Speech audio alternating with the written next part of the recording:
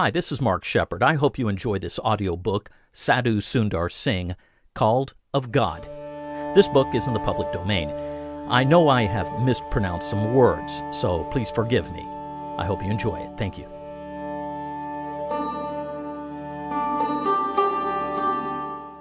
Sadhu Sundar Singh, Called of God, by Mrs. Arthur Parker, London Missionary Society, Trivandrum, South India. Forward. This little book was originally intended for the use of Christian women of the Malayalam country, but the writer has been persuaded to issue an English edition. Nearly the whole of the matter has been the subject of conversations with the sadhu himself, with whom we have enjoyed much inspiring companionship, and with whose permission the book is issued. This word picture of a true servant of the great master should be an inspiration to all Christian men and women in India, and it does not seem too much to hope that Indians of all classes will see how truly Jesus Christ can manifest himself in and through the people of this great land, and how worthy he is to be India's Lord and Savior. Arthur Parker, London Mission, Trivandrum. A letter from Sadhu Sundar Singh. When I saw the manuscript of this little book, I saw clearly in what a wonderful way the Spirit of God had helped and guided Mrs. R. J. Parker so that she had written it without any mistake, and I am certain that the author's work will be for the glory of God and a means of spiritual benefit to many also that those who are in the midst of difficulties, such as I was, will receive help, and especially will learn how the Lord saved so great a sinner as myself, and by his love and grace chose me for his service. Today I can say with thankfulness, after thirteen years of experience, that Christ is the same yesterday and today and forever. Hebrews 13:8. My prayer is that God will use these few words for His glory and for the spiritual help of others. Amen. Signed, Sundar Singh, September 3rd, 1918. Hast thou heard him, seen him, known him? Is not thine a captured heart? Chief among ten thousand own him, joyful choose the better part. What has stripped the seeming beauty from the idols of the earth? Not a sense of right or duty, but the sight of peerless worth. Not the crushing of those idols, with its bitter void and smart, but the beaming of his beauty, the unveiling of his heart. Tis that look that melted Peter, tis that face that Stephen saw, tis that heart that wept with Mary, can alone from idols draw. Draw and win and fill completely, till the cup overflow the brim. What have we to do with idols, who have companied with him? Sadhu Sundar Singh, Called of God. Introduction February 1918 is a time that will linger in the memory of Christians of all denominations in Trivandrum, for the visit of Sadhu Sundar Singh was an unprecedented event that brought to many profound spiritual blessing. One of our missionaries rightly said, such a figure has never passed through the Indian church before. And in passing, he left the deep consciousness that God had visited his people. The fame of the sadhu had preceded him, for a few had read the books published about his life and work, and of those some looked for a day of miracles to dawn. Most, however, were filled with desire to see and hear him, that they might receive the spiritual blessings they believed possible from his ministry. That God did not disappoint these hopes, there are numbers today who could give joyful testimony. As the train bringing Sadhu Sundar Singh to Trivandrum drew into the station, Besides the missionary, a group of Indian Christians stood ready to accord a welcome to him and upon arrival at the mission house, a crowd had gathered for the same purpose, and would hardly be persuaded to disperse in order to allow the sadhu to get a wash and some food. A Wesleyan missionary thus describes the appearance of the sadhu. The sadhu has a noble presence. He is tall, with a well shaped head and fine features. His hands and feet are delicately formed and exquisitely kept. He is scrupulously clean in person and attire. The only dress he wears is the long orange robe of the ascetic, which falls in graceful and dignified folds about his body.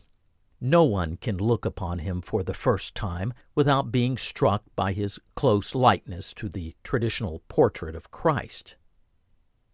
There are many things in this old land that give a fresh understanding of the Bible, but no man of my experience has made us realize so fully how our Savior lived and moved about in his day.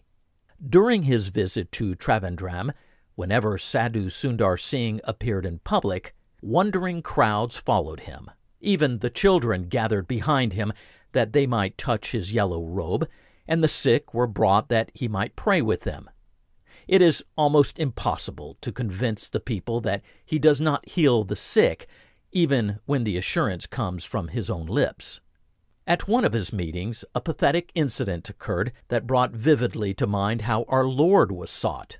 It was at a large open air meeting. Some men appeared carrying a sick man on a bed. They placed it gently upon the ground in a place where the afflicted man could behold the face and hear the words of the sadhu.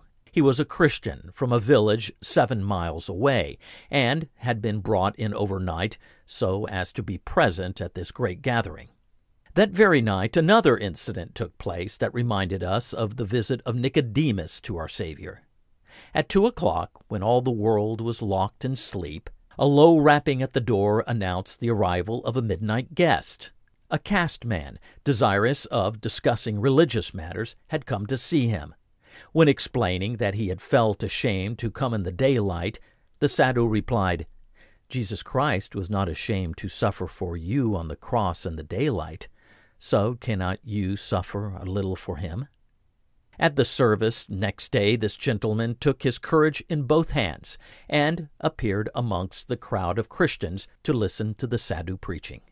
Sundar Singh has brought fresh visions of God and Christ to us all, and many of us realize how by close fellowship with Jesus and complete obedience to his will, he has become so conformed to his Lord that wherever he goes, people say, How like Christ is he? To see and hear him makes one's heart beat high with hope for India's future, and with confidence that day will come when the East will have some new aspect of our Savior to discover to the West.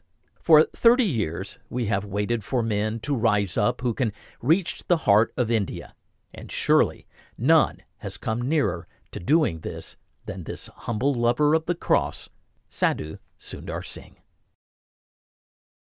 Chapter 1 Sadhu and Sannyasi Perhaps in no country in the world is more importance attached to the proper observances of religion than in India, and the greatest reverence is felt towards men who adopt a religious life. For ages, Indians have learnt to place the man who renounces the world above him who rules and conquers it. The power of the priest is too well known to need mention here, and although the spread of Western education has done much to undermine his influence, the family priest still reigns supreme in the homes of India. But outside the priestly caste, there are numbers of men who take up a religious life, and chief amongst them are those known as sadhus and sannyasis. There is often confusion between these terms and they are supposed to be identical. The main difference seems to be that the sadhus is a life vowed to religion from the beginning, whilst the sannyasis may begin at any time, even in old age. Many Indians desire to consecrate their last years to religion, so they cast off all family ties and all worldly ambitions and responsibilities, and for the remainder of their days practice the austerities of the sannyasi life. It is generally understood that such men have fulfilled all the ordinary obligations of life, having married and had a family and done a share of the world's work. A sadhu, however, early in life renounces the world and all its pleasures. He never marries or enters upon the ordinary occupations of the world. The sadhu's life is one of untold possibilities, of tremendous temptations, a life that commands the respectful attention of India, for it is the type of heroism which dares to lose the world and all the world may offer in its absolute self abandonment. To one who perfectly carries out this ideal, the proudest head in India will always bow in reverence and humility. Both sannyasi and sadhu adopt the saffron robe, the time honored dress which gives them the freedom of all India. The simplicity of their life is such that they have no home and carry no money. And amongst Hindus, it is an act of religious merit to provide them with shelter and food. From the earliest days, this kind of life has had great attractions for the pious minds of India, and during the centuries, men have voluntarily sacrificed the world and all it stands for, that by all kinds of hardships and self denial they might satisfy the deep longings of the soul. Numberless times men of noble aspiration have by this means striven to obtain peace of soul and absorption in the deity. The commonest sight in any of the holy cities in India is that of one or many sadhus practicing the austerities of their chosen lot, either by swinging over a slow fire, holding up the right arm until it is stiffened and the nails have grown through the back of the hand, sitting on a bed of spikes, or under a vow of silence and meditation on the banks of some sacred stream. Unfortunately, this kind of life has been subject to the most terrible abuse, and there is scarcely a more disgusting sight in the world than the filthy beggar who, donning the saffron robe, passes from house to house, terrorizing the ignorant inhabitants, and cursing them when he cannot wring from their unwilling hands the gifts he asks.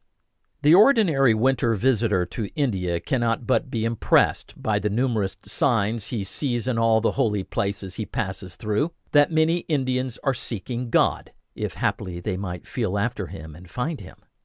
And whilst the sight of numberless filthy fakirs awakens a sense of disgust and repulsion, surely no Christian man can see the self torture of many sannyasis without a deep yearning to discover to them the great secret of the peace they so arduously strive to find. In India, life can be lived at its simplest. The climate enables men to do with little clothing and to live largely an out of door life. Except where the stream of Western life has turned men aside to greater luxury, the Indian still feels satisfied with a simple diet and life. Hence, through the centuries, as earnest souls have gone in quest of higher spiritual things, it is not surprising that they have chosen the simplest possible life and added to its hardships by self imposed austerities. To people of Western nations, with their harder climate and different customs, such simplicity is impossible, and to many even difficult to understand. The true sadhu does not retire to a monastery where food and shelter are assured. He wanders homeless from place to place, possesses only the meager clothes he wears, and is utterly destitute. Dr. Farquhar, in his Crown of Hinduism, says as long as the world lasts, men will look back with wonder on the ascetics of India. Their quiet surrender of every earthly privilege and their strong endurance of many forms of suffering will be an inspiration to all generations of thinking Indians. For nearly 3,000 years, the ascetics of India have stood forth, a speaking testimony to the supremacy of the spiritual. The ideal is a great one Christianize this ideal, make it a renunciation for the sake of others, that remaining in the world but not of it, a man shall endure all things in an untiring search for other souls, and we have the noblest life attainable on earth. Chapter 2 Sundar Singh as Sadhu. The Christian Patriot, a Madras paper, recently published the following Sadhu Sundar Singh is the embodiment of an idea running in the veins of every Indian and inherited by him from a distant past. Standing before men as the homeless sadhu, not knowing where his next meal will come from, without worldly goods, he recalls to men's minds in these days the great ideal of renunciation. But in this case, the ideal is realized in perfection, since not for his own soul, but for the souls of others, he counts all things but loss, and his great renunciation, entailing untold hardship, privation, suffering, and persecution, is his daily offering to the Savior who gave his life for him. Obeying the wishes of his dead and greatly loved mother, Sundar unflinchingly faced the danger of his Hindu relatives, the ridicule of his Christian brethren, and even the mild hostility of his European friends, and became a Christian sadhu. Thirty three days after his baptism, when only a boy of sixteen, he took this step in the firm belief that God had called him to this particular kind of life and work. Since that day, he has never ceased to interrupt the life of him who had not where to lay his head to Indians who have been taught to revere a holy life of self denial. Thus does he commend to his countrymen in true Eastern manner the great things for which the Savior gave his life.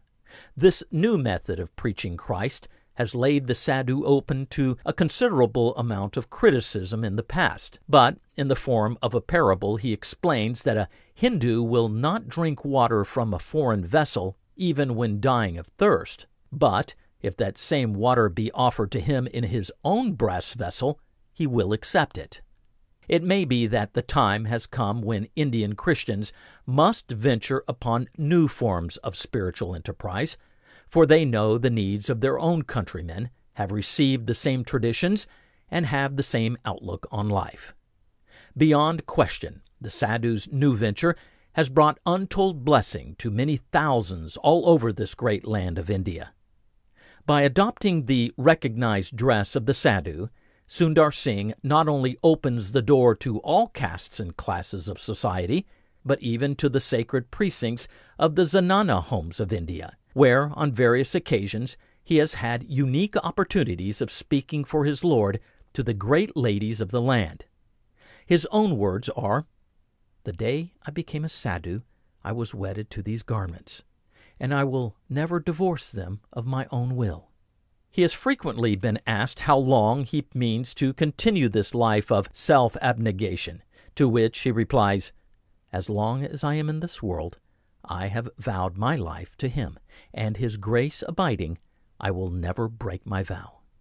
Never long in one place, he wanders over the length and breadth of India, meeting all sorts and conditions of men suffering the changes of climate from the steamy tropical heat of Travancore and Ceylon to the icy cold of Tibet.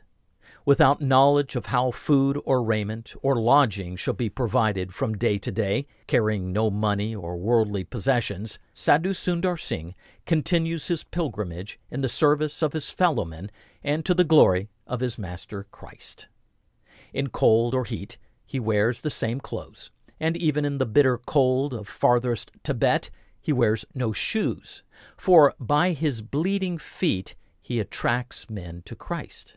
Wherever he goes, he carries a small copy of the New Testament in Urdu, which, with the help of nature and his own experience, is all he needs to enforce his powerful teaching.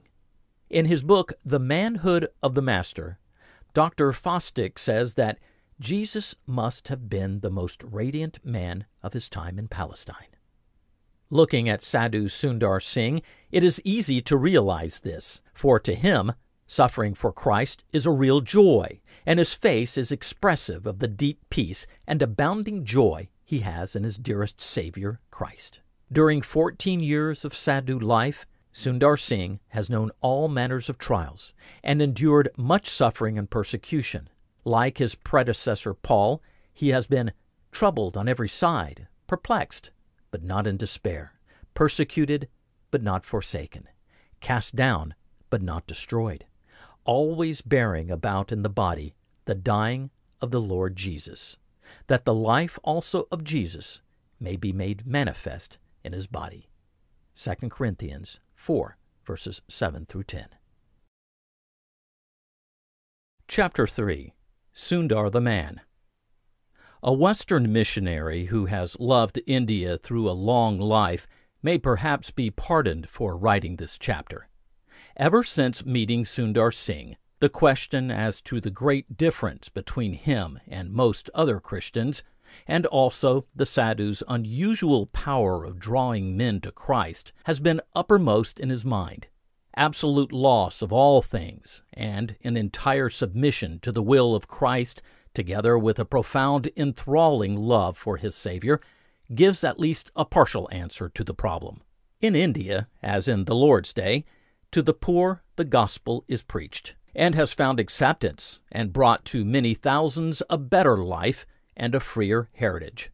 In some cases there is trouble and loss, and even persecution, but the cases are few and far between where absolute loss of all things is the price of following Christ. But, as will be seen in a succeeding chapter, the conversation of Sundar to Christ brought with it not only the loss of all things, but great persecution and hardship. All he got by becoming a Christian was Christ, and this incomparable gift swamped everything else, so that since that time it has been an ecstasy of delight to him to suffer with and for his Master. When more of India's sons accept the Savior in this spirit, the Christian church in this land will enter into her rightful heritage and become the evangelizing power that shall bring India to her Savior. Wherein lies Sundar Singh's power to draw men to Christ? Early in life he had an awakened conscience, and for long sought peace in the sacred books with which he was familiar.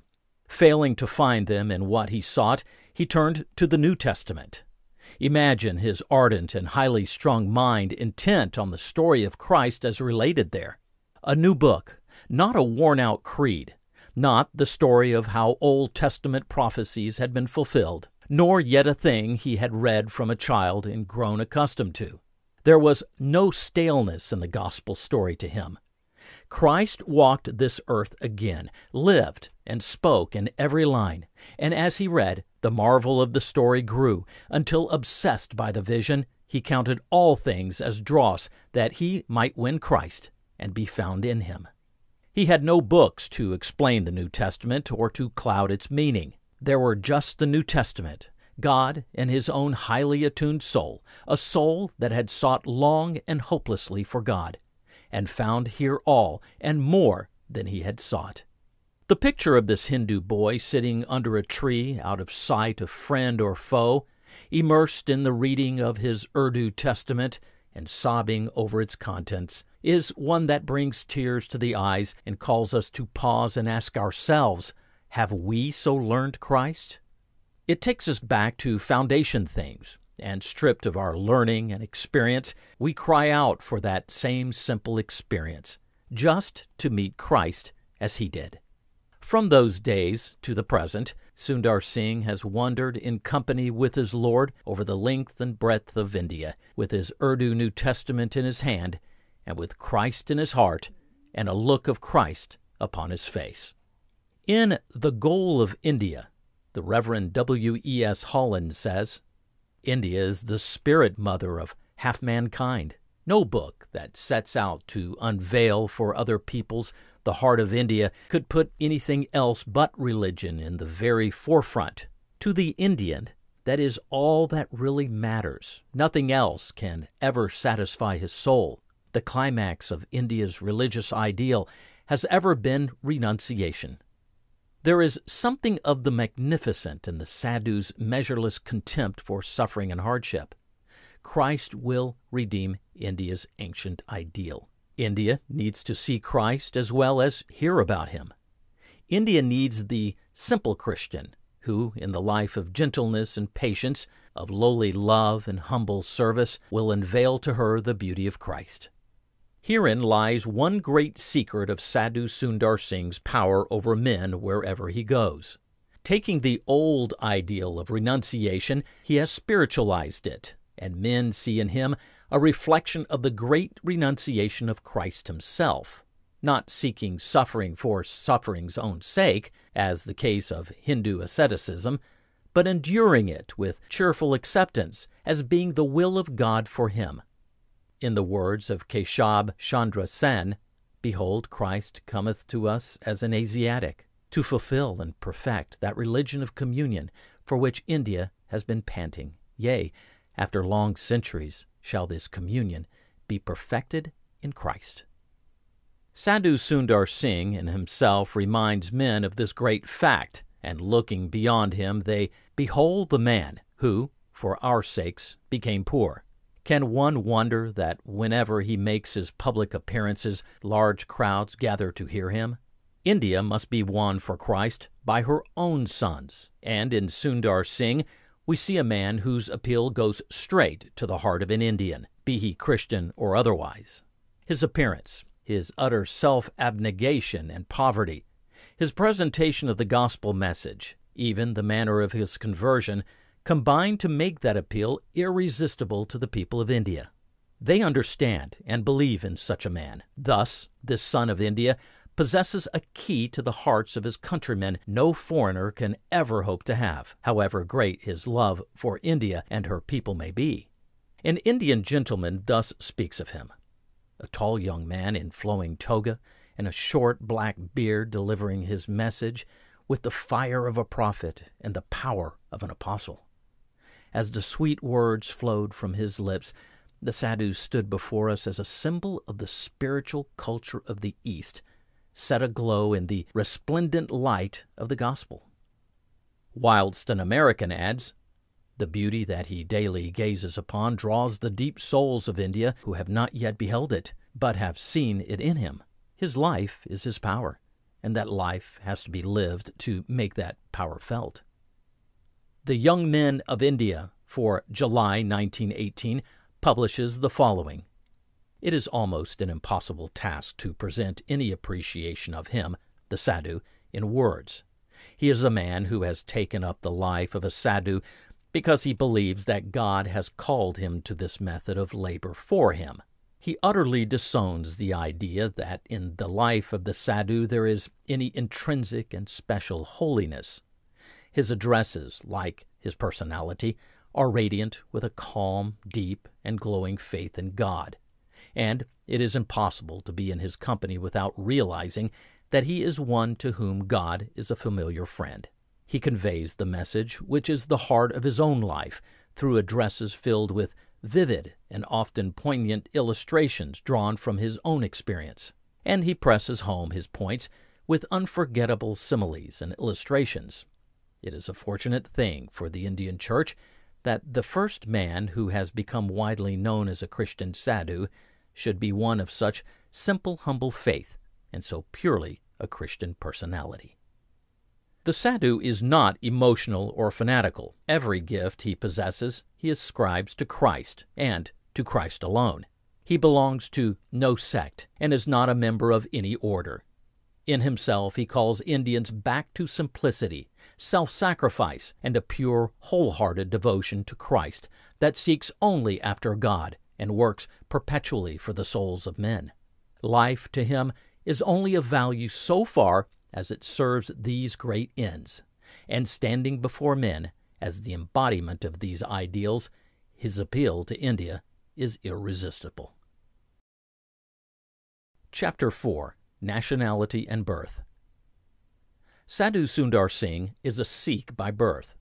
The Sikhs are, for various reasons, of peculiar interest arising first as a religious sect resolved to reform abuses and to lead men back to a simpler, purer worship, they eventually developed into an organized military power. Through four centuries, they have had many and bitter experiences. But pride of race, love of arms, and a stiff clinging to the religious doctrines are to this day their great characteristics. Cunningham, in his History of the Sikhs, says during the 16th century, whilst the Punjab was a sense of endless contention for power amongst foreign races, the religious sect of the Sikhs, humble in its origin, unpretending in its primitive character, silently arose amidst the tumult of arms, and, in spite of persecution, laid the foundations of a great state. The home of the Sikhs is the country of the five rivers, and a remarkable circumstance of the population of the Punjab is the comparative paucity of the Sikhs in a country once ruled by them. The Sikhs do not form a numerous sect, yet their strength is not to be estimated by numbers, but by their unity and energy of religious fervor and warlike temperament. they will dare and endure much. They are not easily discouraged by defeat, and they look forward hopefully to the day when the double mission of Nanak and Govind Singh shall become a dominant religion. Some further account of the Sikhs will be found at the end of the book, and from it will be seen some of the national and religious influences under which Sundar Singh was born. Captain Cunningham says, A Sikh chief is not more distinguished by his stately person and manly bearing than a minister of his faith is by a lofty thoughtfulness of look, which marks the fervor of his soul and his persuasion of the near presence of the divinity. In religious faith and worldly aspiration, they are wholly different from other Indians. From such a stock sprang Sundar Singh. His father was Sirdar Sher Singh, a Sikh by descent, and to this day a wealthy landowner in Rampur in the state of Patiala, where, on September 3, 1889, Sundar was born, the youngest son in the family, but called to a higher destiny than them all.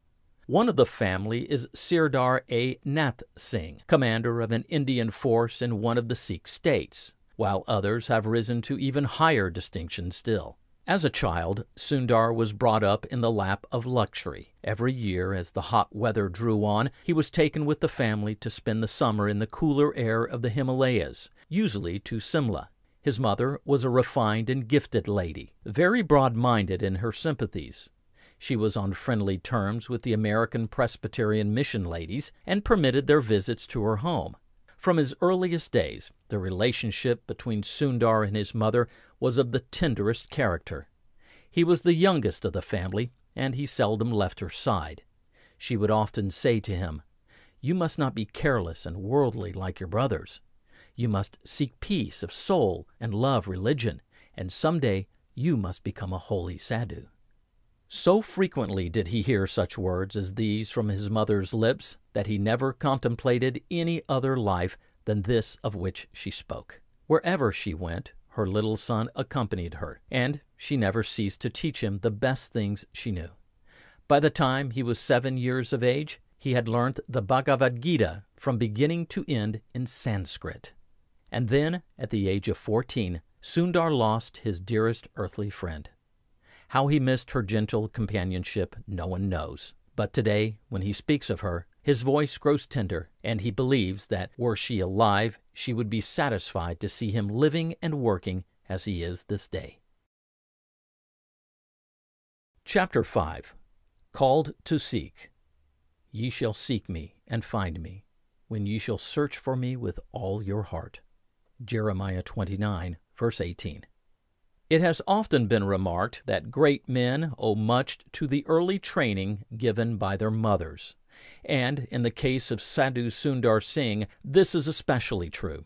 From his earliest days, the child not only accompanied his mother on her visits to the temples, but was carefully taught by her to regard religion as the supreme thing in life.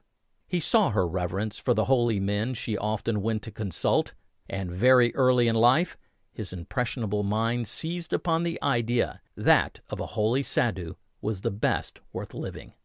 Sundar learned from his devout mother that there was a peace of heart which needed earnest seeking, and which, when found, would be the greatest treasure on earth. So frequently did she speak of this to him that as he grew in understanding, the desire to gain this precious gift grew in intensity. The little child who had rubbed his forehead on the temple door and sat at the feet of Hindu holy men now began to seek for the inestimable treasure he had learnt to regard as the one thing worth obtaining in the world. The Granth of the Sikhs, the sacred books of the Hindu religion, and even the Koran of the Mohammedans were all ceaselessly read and searched. Often, when his family lay asleep, Sundar would sit poring over the pages of one or other of these books. Many passages and verses he learnt by heart, and yet, with all his increasing knowledge, there only came to him a deeper unrest of soul. The priests of the temple, the sadhus he so often saw, and even his pious mother failed to bring him rest of heart, although they quoted many passages from their sacred books in the hope of helping him. Thus, built up in, but unsatisfied with, the faith of his fathers, and without knowledge of Christ and Christianity, Sundar was sent to learn at the mission school carried on by the American Presbyterians in his own village. Here, every day, the Bible was taught, and Sundar heard things that aroused in his mind feelings of the deepest antagonism. His Sikh blood was roused on the very first day by his being told to read the Bible. Why should I? We are Sikhs, and the Granth is our sacred book. But Sundar, with a friend of his own age and standing, were persuaded to obey the rule of the school, and then he bought for himself a copy of the New Testament and began to read it. But his horror was only increased when he found its teaching utterly subversive of all he had learnt and treasured from his childhood. A deep inbred reverence for his own religion, almost amounting to fanaticism, roused him beyond endurance. Soon he became the ringleader of the boys in the school who hated Christianity. Openly he tore up the hated pages of his New Testament and burnt them in the fire. Hearing of this, his father expostulated with him, declaring the Bible to be a good book, and telling him that he should have returned it to the missionary rather than have treated it thus. Again Sundar turned to his own sacred books, this time with an abhorrence for Christ and a greater determination to find the peace of which his mother had taught him. He not only arduously studied the Indian religious systems and holy books, but also practiced yoga under a Hindu sadhu and learned how to throw himself into mystic trances, which brought temporary relief, although when he came out of the trance, he was more miserable than before. He was taken away from the mission school and sent to a government school three miles away from his home. The daily long walk and the fierce Indian sun soon began to tell on his health, and before long it became apparent that he must return to the mission school if he was to finish his education. All this time he had been diligent in his search for peace, and the constant cry of his heart was for shanti, that comprehensive Hindi term that means not only peace, but a full satisfaction of soul. But the more he longed, the greater was his disappointment when he found himself growingly filled with a deep soul hunger that nothing would satisfy. Back in the mission school, Sundar once more found the gospel in his hand and again listened to the daily teaching of the Bible. Then returned upon him his old hatred of Christianity, and the very name of Christ filled his mind with angry resentment. So strong were his feelings at that time that on one occasion, when the shadow of a Christian missionary fell across him, he spent a whole hour in washing away the pollution. Sundar speaks of this period as one of his most trying of his life, for he had come to the end of his own religion without discovering the shanti he was in search of, and his deep rooted hatred of Christianity prevented him from even looking into the Christian sacred book for this pearl of great price. Chapter 6 Called of God Blessed are they that hunger and thirst after righteousness for they shall be filled. Matthew 5, verse 6. Come unto me, and I will give you rest. Matthew chapter 11, verse 28. Thus far, God had led Sundar by a way he knew not, and it seemed only to lead him into blacker night. Having studied line by line all the religions he knew, having heard from the lips of many religious teachers all they had to tell, and in spite of all still experiencing a deeper and more unsatisfied longing for the shanti he believed possible, Sundar was led by God to see that in none of these things could he find what he sought. In the silent sanctuary of his own heart came the thought at last that perhaps in the despised book that he had so furiously destroyed there might be some help, and so he yet again took the Testament in hand. Torn with anguish and driven to despair, he read there, Come unto me, and I will give you rest. The words arrested him, and as he continued to read the story of the cross, the words arrested him. And as he continued to read the story of the cross, the wonder grew. No longer did he join with his classmates in their open abuse of the Christian religion. Sometimes he was discovered in quiet converse with the Christian teacher, Eventually, these things were noticed and duly reported to his parents, but his father took little notice, for the boy had been well grounded in the Sikh religion by his devout mother and was imbued with its beliefs. But the leaven of the gospel had entered his heart, and as he read, God so loved the world that he gave his only begotten Son, that whosoever believeth on him should not perish, but have everlasting life. A whisper of comfort came to his sore heart. But still the burden of anguish prevented him finding rest. At last he felt he must put an end to the struggle. So one night he made a firm resolve that he would obtain peace before dawn, either in this world or the next. He knew that at five o'clock each morning the Ludhiana Express passed at the bottom of his father's garden, and to end his misery seemed no sin to the Hindu boy. In Hindu fashion, he bathed, and with Testament in hand, he retired to his room to spend the long night in reading, meditation, and prayer. Just before dawn, Sundar became conscious of a bright cloud filling the room, and in the cloud he saw the radiant figure and face of Christ. As he looked upon the vision, it seemed to him that Christ spoke, saying, Why do you oppose me? I am your Savior. I died on the cross for you. His determined enmity was broken down forever as he looked upon that face so filled with divine love and pity, and with conviction came a sublime sense of forgiveness and acceptance with Christ.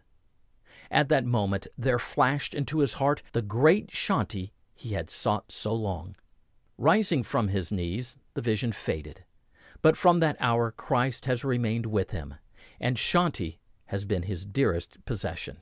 With a heart brimming over with joy, Sundar went to his father's room and told him that he was a Christian. Unable to believe that his son could be so earnest, the father urged him to go rest, and believing all was right, he fell asleep again.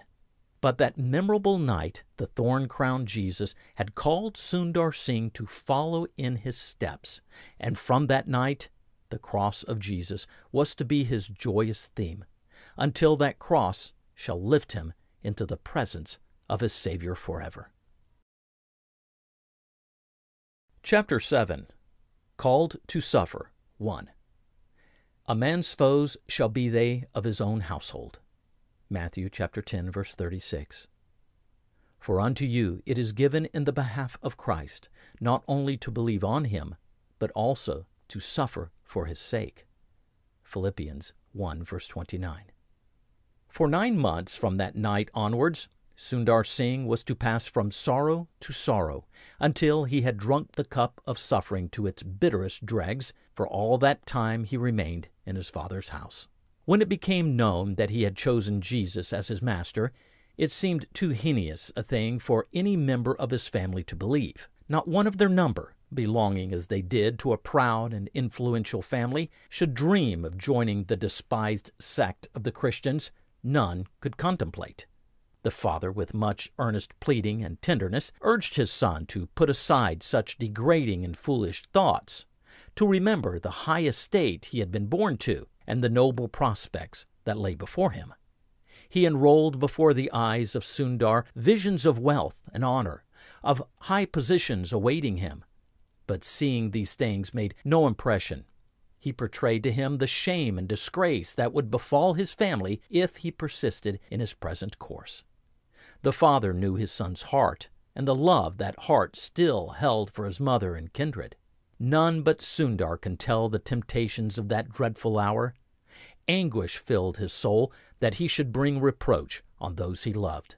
At that moment, too, were spread before him the temptations, ambitions, and glitter of the world, and once more he was to feel the power of earth's attractions and earth's love. But God had not called Sundar from despair and darkness to let him fall a prey to these temptations. It seemed to him that Jesus whispered, He that loveth father or mother more than me is not worthy of me, and he that taketh not his cross and followeth me is not worthy of me. Only when he saw his father's tears did poor Sundar's heart almost break. But even as he declared his love for his father, he had strength given to speak of a greater love for one who had called him to follow him, and whom he could not disobey.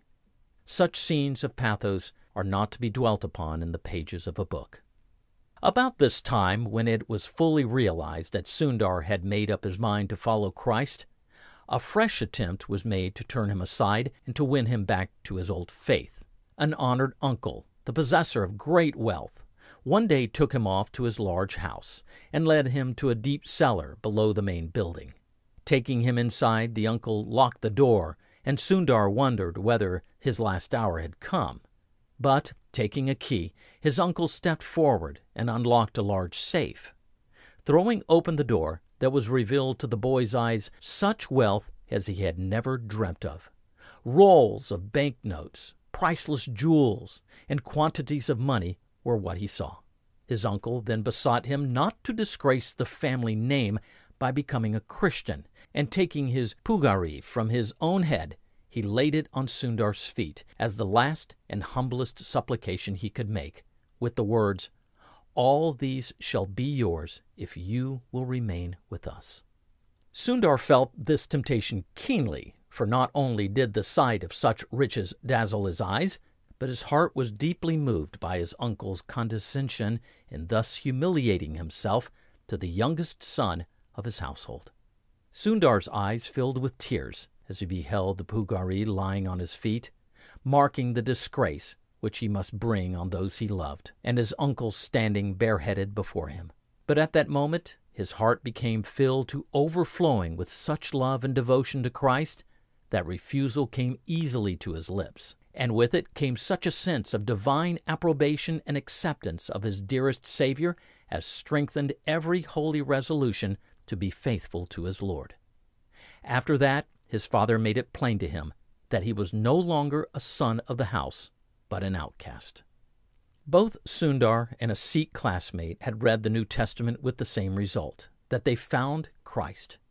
But they were not of an age to take the great step of confessing Christ publicly and so were obliged to remain in their Hindu homes. The relatives of Sundar's friend brought a case into the law courts charging the American missionaries with compelling the boy to become a Christian. Upon appearing before the magistrate, the boy bore steady witness to the faith that was in him, and being questioned, he took a New Testament from his pocket, and holding it in his hand, replied, Not because of the Padre Sahib, but by reading this Injil, I believe on Christ so let the Padre Sahib go. Thus the case fell through, and for some time longer Sundar and his friend were forced to remain with their relatives until they were able to take the momentous step that was to mean so much to them both later on. It is easy to see how, when all persuasion and the temptations of a great career failed to turn aside the boy from his set purpose, the bitterest hostility was aroused amongst his people. His own brother proved his fiercest enemy, and day by day Sundar suffered bitter persecution at his hand.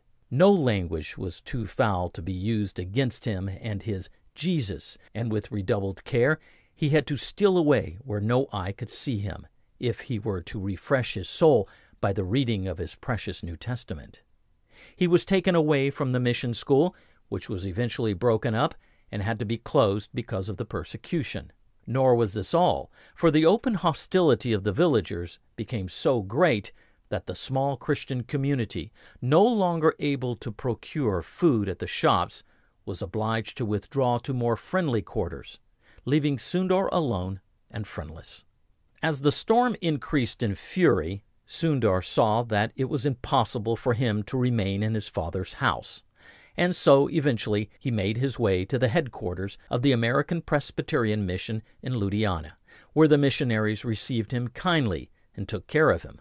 Special arrangements were made for the cooking of his food to prevent trouble for his family, and Sundar entered the high school to continue his education. The sensitive boy had high ideals as to what Christians ought to be, and before long he discovered that his classmates were for the most part only nominally Christian and the conduct of some of them caused him to leave the mission and retrace his steps homewards. Arrived at Rampur, his parents naturally thought he had given up Christianity and received him with great kindness. But they were speedily disillusioned, for they soon found him to be a more determined follower of Jesus than before. Sundar now took the final step that was to place him hopelessly outside the pale of his religion, community, and family by cutting short his long hair, the sign to all that he was no longer a Sikh. Sikhs are instructed in their sacred book, the Granth, never to cut the hair, and every true Sikh glories in his hair. Among various races in India, the long tuft of hair is regarded with special reverence, and is the last sign of Hinduism a caste man lays aside when he becomes a Christian. So Sundar, in cutting his hair, brought ostracism on himself, and at the same time it was an unmistakable declaration for Christ and his cross. Then fell on this poor boy the bitterest blow of all. He was to be disowned, cast out, treated only as the lowest of the low, and that by those who loved him best. The Apostle Paul wrote, We are made as the offscouring of all things. And this was the treatment meted out to a boy of sixteen, who up to this point had not entirely cast in his lot with Christians. He was no longer counted as one of the family. His food was served to him outside the house, just as if he belonged to the untouchables, and he was made to sleep in the same place. The first time this was done, the poor boy's eyes filled with tears, and the weight of his cross seemed more than he could bear. Shortly after this, one of Sundar's brothers in law, who was in the service of the Rajah of Nabha, took him for a day or two to stay at his own house, in the hope of bringing him to a different state of mind.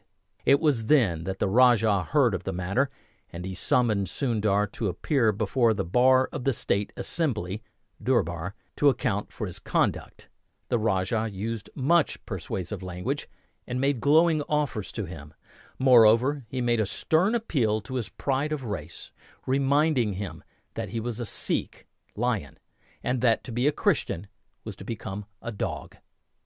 Whatever answer Sundar made, it must have been given to him in that very hour what he should speak.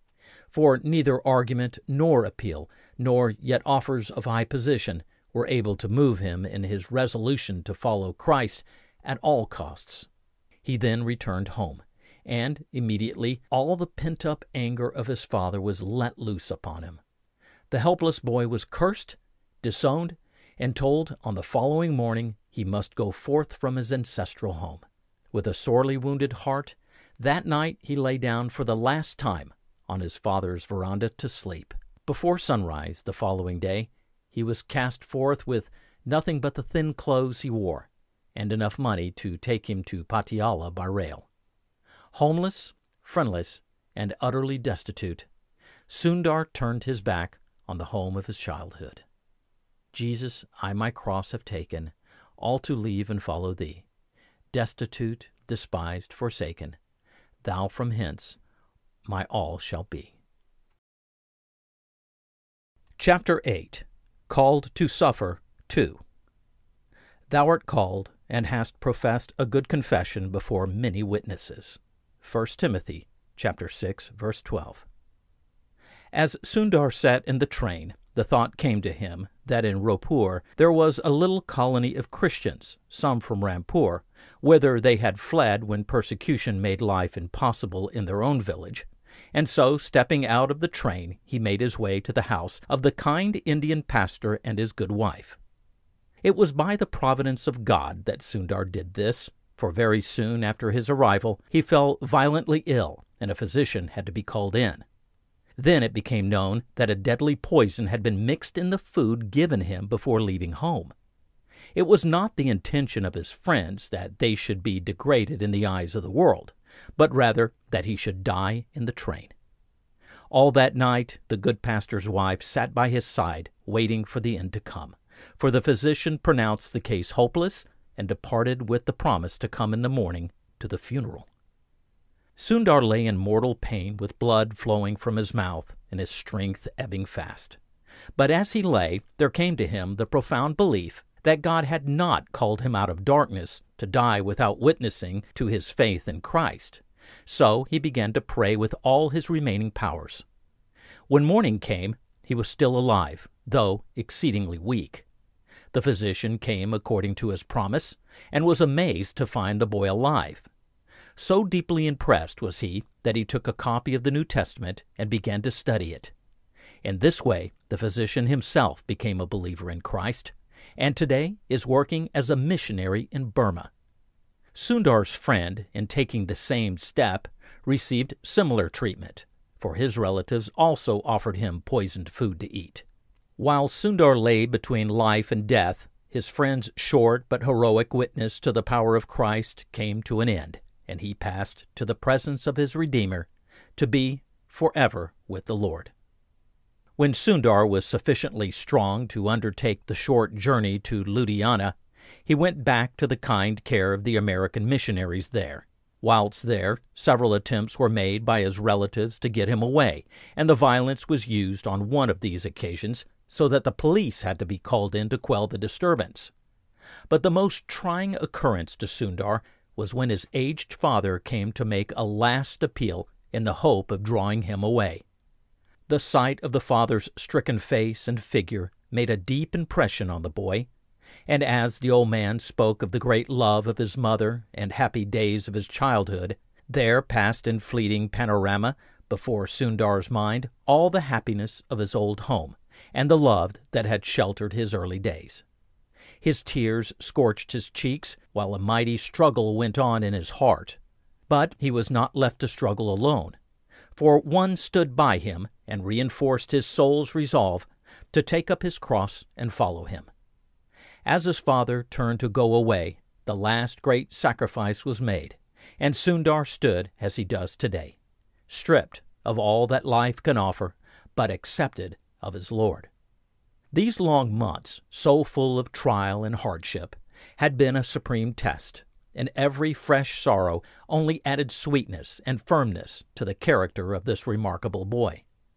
After these events, it became necessary for Sundar to go away where he would be protected from his enemies, and he was sent to the American Medical Mission at Sabathu, a small place 23 miles from Simla, where he was free from persecution and able to give his mind completely to the study of his beloved New Testament. Set free from all earth's ties, he became increasingly anxious to confess Christ by baptism. Again and again he begged that he might be allowed to take this step, and eventually on his birthday, September 3, 1905, the Reverend J. Redman baptized him in the Church of England at Simla. Next day, Sundar returned to Sabathu, and knowing that he was buried with him in baptism, risen with him through faith, Colossians 2:12. His heart was filled to overflowing with happiness. The weary struggles of the past months faded in the presence of this new joy of bearing the name of the dear Master for whom already he had suffered so much. His heart now became filled with a burning desire to make known to others the Savior to whom he had given himself so unreservedly, and with eager joy he began to look forward to the great work to which his life was to be dedicated. During the hard days of his search after God, Sundar had made a vow that if God would lead him into peace, he would sacrifice all that life could offer him. And now the day had come when he would make an utter self surrender for Jesus Christ. He had long felt drawn to the life of a sadhu, and knowing what such a life involved, he willingly made the final sacrifice for it. His books and personal belongings were soon disposed of. And on October 6, 1905, just 33 days after his baptism, he adopted the simple saffron robe that was to mark him off for all time as one vowed to a religious life. With bare feet and no visible means of support, but with his New Testament in his hand and his Lord at his side, Sadhu Sundar Singh set out on the evangelistic campaign that has lasted to this day. Chapter 9 Called to Serve It pleased God, who called me by his grace to reveal his Son in me, that I might preach him among the heathen. Galatians 1 15 through 16. Ye shall be my witnesses unto me in Jerusalem. Acts 1 verse 8. Sundar was now embarked on a life of such complete self abnegation and suffering as falls to the lot of few men in this world. His path from Hinduism to Christ had been one of thorns all the way. But after his vision of the thorn crowned Jesus and his acceptance of the peace his Savior brought, nothing seemed too great to give up for him.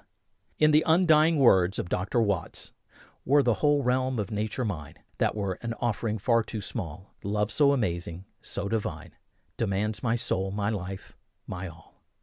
Nothing less than all sufficed to satisfy his ardent nature, and one cannot wonder that on entering the Sadhu life in that spirit he determined, as he says, that his grace abiding, he would live no other, so long as life was his to spend for Christ.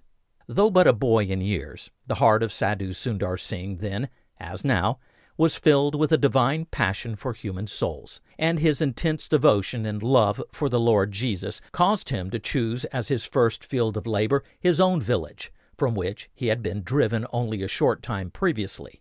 Only a few months after his rejection by his family, the young Sadhu returned to the familiar streets of Rampur, and there, in every street, he bore faithful witness to the power of the Savior and the new found happiness he had in him. Not only so, but even the zanana doors of Rampur were open to him, and he went from house to house, telling the women the same wonderful story. From there, and alone, he passed on to the villages round about, and fearlessly testified to the people everywhere of the great peace only obtainable through Jesus Christ.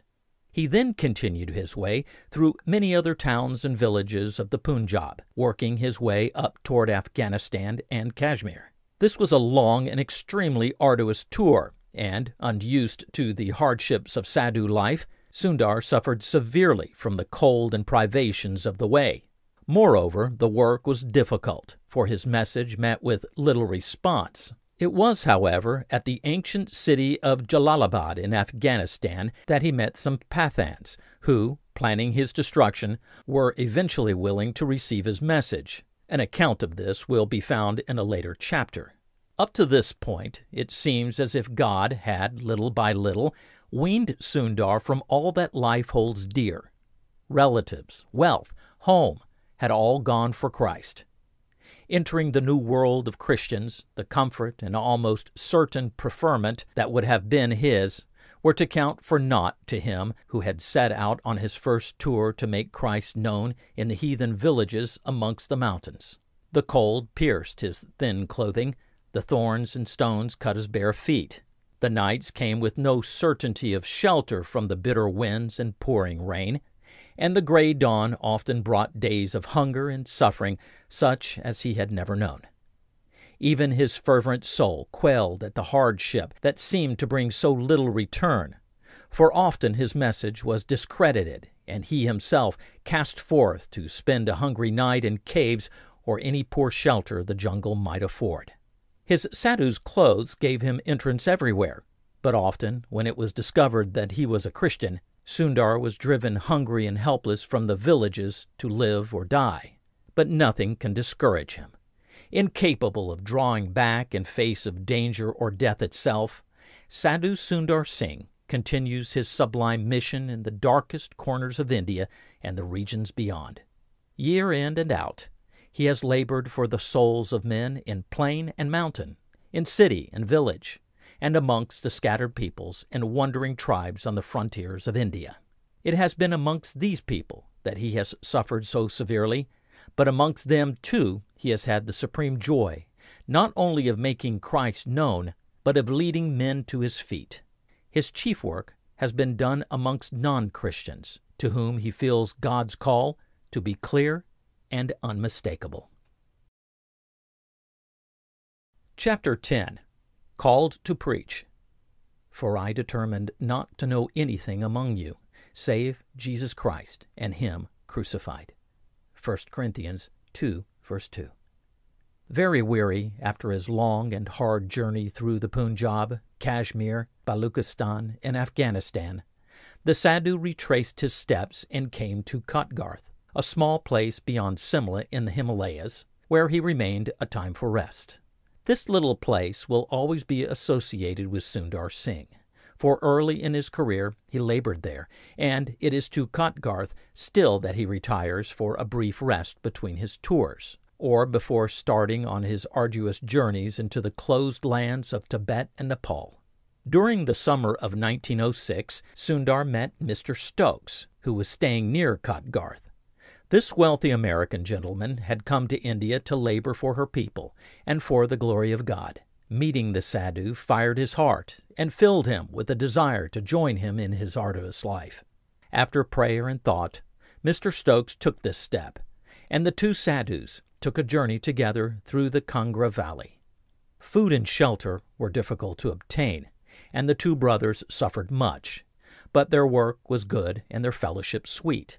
It was during this journey that Sundar Singh fell ill.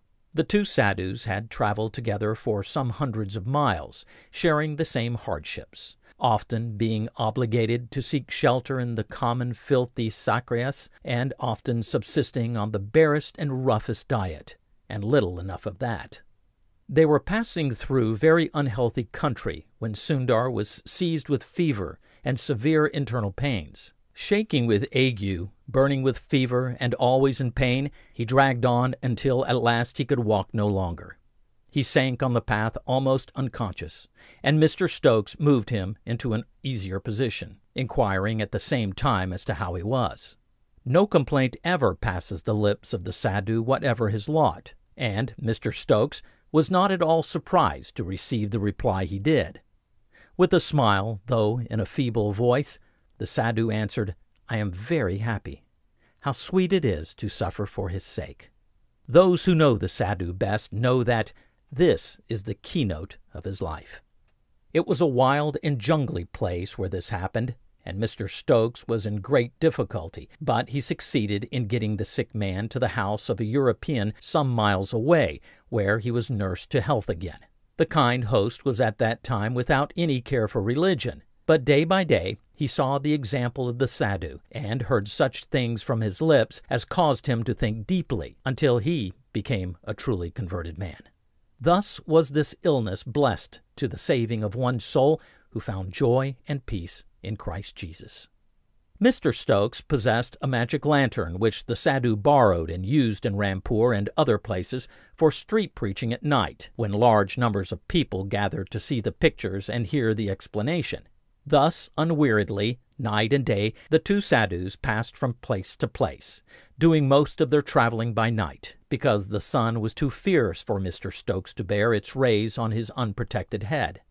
It was at this time that Mr. Stokes spoke so appreciatively of the work of the sadhu, who, though not much more than a boy, was so filled with his message that wherever he went, people were under a strange compulsion to listen to what he said.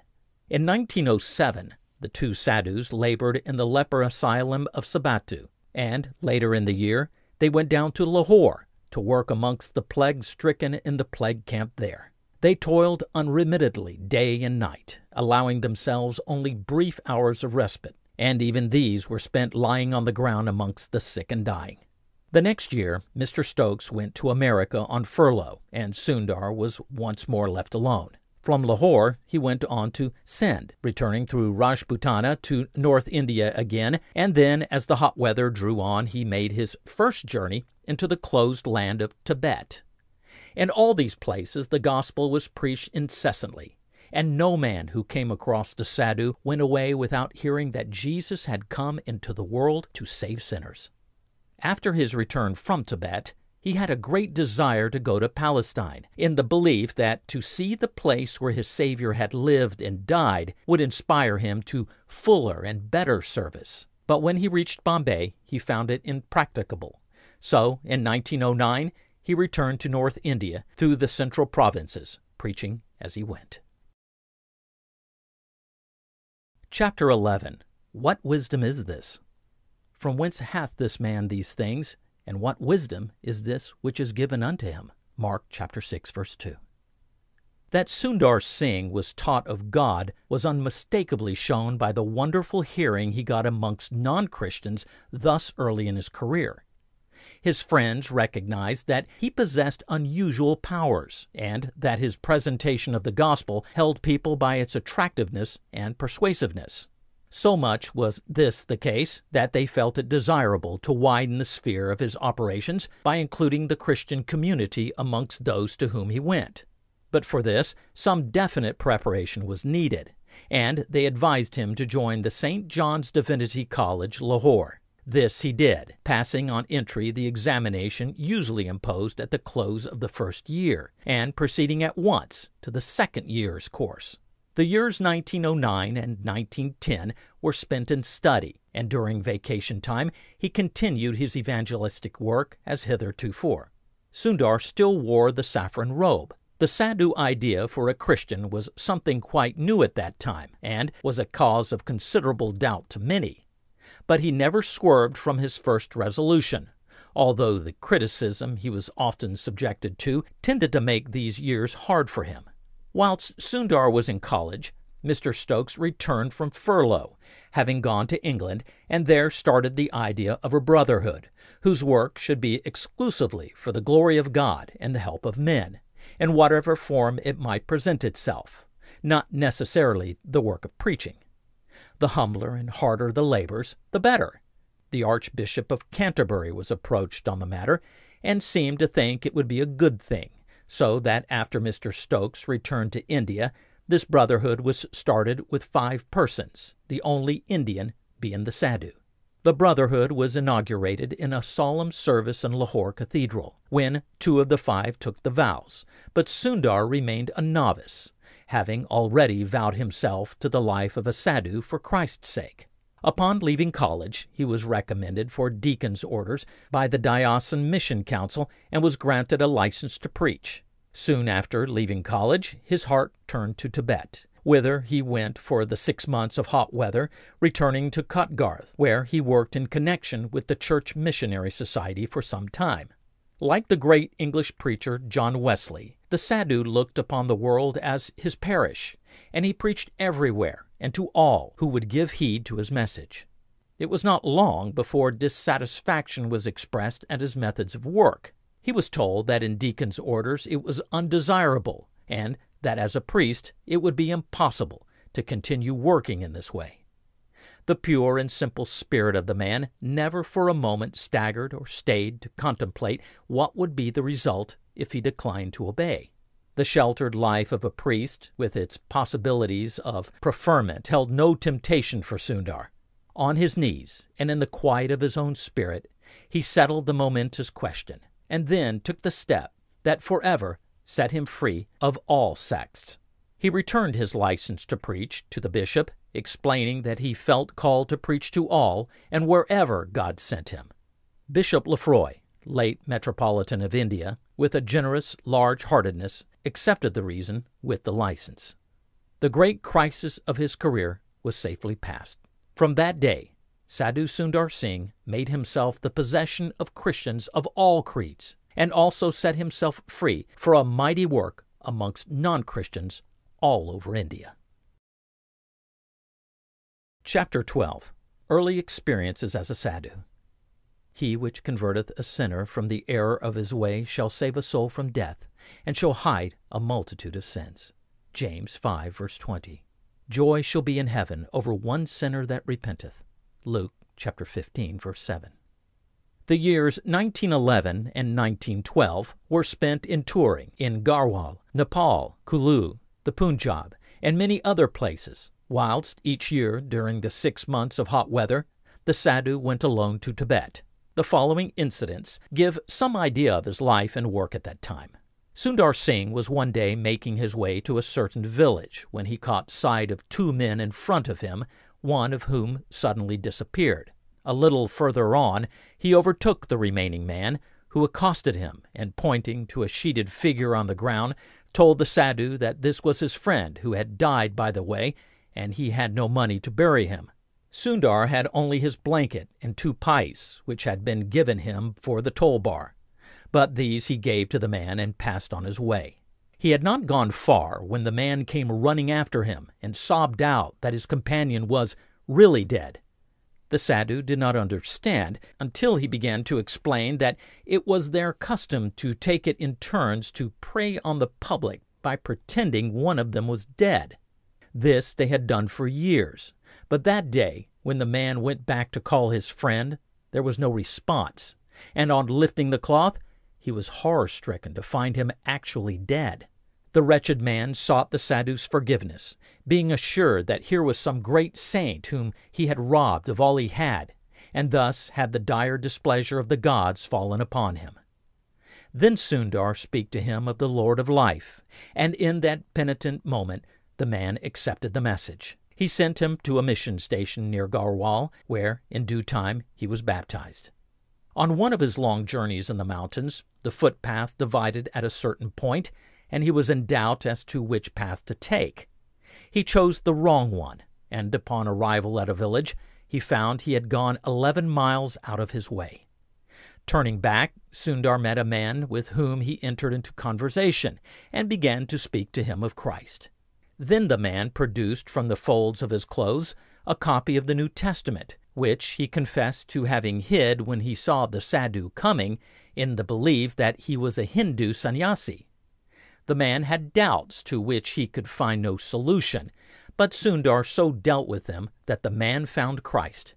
In speaking of this to the writer, Sundar remarked, Then I knew why I had gone astray, for Christ had sent me to help this anxious soul. At Narkanda, the sadhu found some men reaping in a field. Joining them, he spoke to them as they worked of Jesus and eternal things. At first, they listened with indifference, and then with disapprobation. They had no mind to hear about a strange religion. Some of the men began to curse and threaten him, and one took a stone and hit him on the head. After a time, the man who had thrown the stone was seized with a severe headache and had to stop work. The sadhu then took up the scythe and reaped with the others. This softened their hearts, and at the end of the day the men invited him to accompany them home.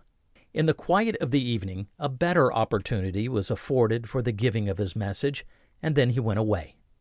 The reapers, having rested, began to take stock of the harvest gathered that day, and to their astonishment found a greater yield than they had had in previous years. They were then afraid, and declared amongst themselves that a holy man had visited them, and this increase was proof of it. Then they strove to find the sadhu, that they might give better heed to his message, but found him nowhere. This incident was published in the North Indian paper, the Nur Afshan, by one of the men present on the occasion, who made an appeal through its pages to Sundar to return amongst them that they might receive his message. At the ancient city of Jalalabad, the sadhu found himself amongst a cruel and treacherous people who, seeing he was a Christian, laid a plot to take his life. Sitting to rest himself, the news was brought to him by one less evil disposed than the rest, but as he had done nothing to warrant such a thing, he found it difficult to believe it possible. However, he decided to take the warning and to seek a safer retreat. Only the common serai, infested with mosquitoes and viler insects, remained, so to this he went. Next morning, when he had lit a fire and was drying his wet clothes, a number of Pathans arrived. Much to his amazement, the foremost of these men came in and fell at his feet. The Pathan then explained how they had sought to take his life, but seeing him had altered their intention. For instead of his being frozen as they had expected, he was well and none the worse for his experiences. They were driven to believe that here was one favored of Allah, and they begged that he would accept of their hospitality and accompany them home. The sadhu spent a very happy week with them, and they gave good heed to his teaching, so that, he believes, there will be fruit of his labors amongst these rough and hardened men. Chapter 13 Obedience by Suffering. Yet learned he obedience by the things which he suffered. Hebrews 5 8. I count all things but loss, that I may know him, and the fellowship of his suffering. Philippians 3 8, and 10. No one but Sadhu Sundar Singh himself knows how great have been his sufferings during his years of service for his master. He admits that very often he has gone without proper food, being reduced to eating the berries and produce of the jungle, and many a night he has been driven from the villages and been obliged to sleep under trees or in caves of the earth. The parts of India where the chief of his work has been done are no places for such a life, so that it is not surprising that on more than one occasion the sadhu has shared his miserable shelter with a snake or wild animal. At a village in the district of Thoria, the people behaved so badly to him that his nights were always spent in the jungle as long as he was working amongst them. On a particularly dark night, after a discouragingly hard day, the sadhu found a cave where he spread his blanket and lay down to sleep. When daylight came, it revealed the horrible spectacle of a large leopard still asleep close to him. The sight almost paralyzed him with fear. But once outside the cave, he could only reflect upon the great providence of God that had preserved him while he slept. His own words are, Never to this day has any wild animal done me any harm. On another occasion, being driven out of a certain village, Sundar went to meditate on a rock close to a cave. Deep in contemplation, it was some time before he noticed that he was being stealthily observed by a black panther that was crouching not far away. Filled with fear, but putting his trust in God, he quietly rose and walked forward as if nothing were there. He got away safely to the village, and when the people knew of his escape, they declared he must be a very holy man, since this very panther had killed several people from that village. They then gathered round to receive the message which they had spurned before. They then gathered round to receive the message which they had spurned before, and so Sundar again thanked God and took courage. One morning, a number of sadhus were gathered on the banks of the Ganges at a place called Rishikesh, amidst a crowd of religious bathers, and amongst them stood Sadhu Sundar Singh, Testament in hand, preaching. Some were listening in a mildly interested way, whilst others joked and scoffed at the man and his message. Unexpectedly, a man from the crowd lifted up a handful of sand and threw it in his eyes, an act that roused the indignation of a better disposed man, who handed the offender over to a policeman. Meanwhile, the sadhu went down to the river and washed the sand from his eyes. Upon his return, he begged for the release of the culprit and proceeded with his preaching. Surprised by this act and the way he had taken the insult, the man, Vidyananda, fell at his feet begging his forgiveness and declaring a desire to understand more of what the sadhu was speaking about. This man became a seeker after truth, and afterwards accompanied him on his journey, learning with meekness from his lips the story of redeeming love. Very early in his pilgrimages, Sundar traveled through a number of villages, one of which was called Doliwala. The day had been a hard one, the march very long, and the sadhu arrived utterly exhausted and badly in need of food and rest. Walking down the village street, he asked again and again for some shelter where he might spend the night, but in every place, when it was discovered that he was a Christian, he was driven away. Heavy rain was falling, and it was bitterly cold. Wearied almost to death, Sundar sought refuge in a ruined hut of two rooms without doors or windows.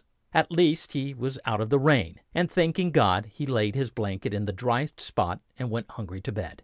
Soon he fell asleep and did not wake until the chilly gray dawn came. In the half darkness, he saw a black object coiled up on his blanket close to him, and looking closer, he discovered that a huge cobra had also sought shelter and warmth beside him. Speedily he escaped from the hut, leaving the snake asleep, but on further thought he returned. Seizing a corner of the blanket, he shook it free of the venomous reptile, which sluggishly wriggled off to the furthest corner of the room. Sundar then took his blanket with a feeling of great thankfulness that God had taken care of him in the hours of sleep and spared him for further service. An educated Arya Samaj, an educated Arya Samaj gentleman, relates how one day, when he was descending a mountain, he met a young sadhu going up. Curiosity prompted him to watch what would happen. So, instead of joining him for a talk, as he at first thought of doing, he waited, and this is what he saw. When the sadhu got to the village, he sat down upon a log, and wiping the perspiration from his face, he commenced singing a Christian hymn. Soon a crowd gathered, but when it was found that the love of Christ was the theme, many of the people became angry. One man jumped up and dealt him such a severe blow as felled him to the ground, cutting his cheek and hand badly. Without a word, Sundar rose and bound his bleeding hand, and with blood running down his face, prayed for his enemies and spoke to them of the forgiving love of Christ. In writing of this incident, this gentleman adds that he himself, by seeing the sadhu's conduct, was drawn out of the well of contempt and brought to the fountain of life. The man, Kripa Ram, who had thrown Sundar down, sought long and earnestly for him in the hope that he might be baptized by that wounded hand. But not finding him, he openly confessed Christ by baptism, and still hopes to see Sadhu Sundar Singh some day. Chapter 14 The Fast. When thou prayest, pray to thy Father which is in secret. Matthew chapter 6, verse 6. When thou fastest, appear not unto men to fast, but to thy Father which is in secret. Matthew chapter 6, 17, verse 18. Towards the end of 1912, a letter was received by the Reverend Canon Sandys of Calcutta from Canada, asking for a Christian Sikh to be sent as a preacher to work amongst 4,000 Sikh lumbermen in British Columbia. The request was laid before Sundar Singh, who at once agreed to go. Everything was ready for him when the shipping agents declined to send him on the ground that the Canadian government had passed immigration laws which made it impossible for them to book him through. Sundar Singh felt the disappointment keenly, but simply said, Perhaps it is not God's will that I should ever go to Canada. Later, Canon Sandys wrote, I failed to get a passport for him, as the government no doubt was at that time receiving private information about the Columbian Sikhs. And so, to the Sadhu's sorrow, the idea had to be abandoned. He then worked his way across the country from Calcutta to Bombay, and eventually north again. After his baptism, he had two strong desires one being to visit Palestine, the scene of our Savior's life and work, and the other to imitate Jesus in fasting forty days and forty nights. By these means, he hoped to obtain fresh spiritual enlightenment. To achieve the first in 1908, he made his way to Bombay, but found that for various reasons the journey at the time was impracticable. Some four years later, when the proposed visit to Canada fell through, the Sadhu's mind turned to the idea of retirement for prayer and fasting, in the belief that these things would minister to the great need for a closer communion with God and increased power for service. It was about this time that he came in contact with a Roman Catholic medical man a Franciscan, calling himself Dr. Swift, and traveling with him north, they discussed the idea of a fast, the latter striving to dissuade the Sadhu from attempting it, and declaring that death would surely result if he did. Seeing, however, that he still desired to accomplish it, the doctor begged him to give him the addresses of his chief friends, that in case of necessity he might communicate with them. This was done, and the two men parted the doctor with the intention of joining the Catholic fraternity, and the sadhu with the determination to seek retirement that he might give himself to fasting and prayer. The doctor wrote to a friend of his near Dehradun, telling him of what was happening. While away in the jungly country between Hardwar and Dehradun, Sundar Singh went alone to meet his God. The days passed without any news of him filtering through to the outside world, and meanwhile he remained in the jungle without food and growing weaker every day. Having been warned as to what might happen to him, the sadhu made provision for increasing weakness by collecting forty stones, one of which he dropped each day in order to keep the count. But at length he was unable even to do this. His hearing and sight left him, and he lay as one in a trance, conscious of what was going on about him, but unable to make any outward sign of life. As physical powers declined and extreme exhaustion set in, he felt within himself a great quickening of the spirit, and in this state his complete dependence upon God and other matters of intense spiritual importance were revealed to him, so that since that time none of the doubts that once assailed him have had any power over him. In this condition he was found by some bamboo cutters, who, seeing his saffron robe, lifted him into his blanket and conveyed him to Rishikesh and then to Dehradun. From thence he was sent in a carriage to Annfield. So altered was he in appearance by what he had passed through that he was not recognized by his Christian friends at Annfield. But they knew who he was by the name in his testament and carefully nursed him back to life. Meanwhile, Dr. Swift received news from his friend that a man corresponding to his description of the Sadhu had been discovered in the jungle at the point of death. Surmising that his predictions had come true, the doctor, possibly through a friend, wired to the Sadhu's friends that Sundar Singh slept in Jesus. The Metropolitan and Canon Sandys were two of the six who received these telegrams. The latter wrote to the station master from whence the telegrams had been sent, making inquiries as to who the sender was, and the reply came that they had been handed in by a black coated gentleman. Whilst Sundar was laying weak and ill at Annfield, unconscious of the reports being circulated about him, obituaries appeared in the papers, and a memorial service was held in the church at Simla, money also being contributed for a tablet to be placed there in his memory. By March he was well enough to resume his travels, and went up to Simla, where he heard the story of his reported death.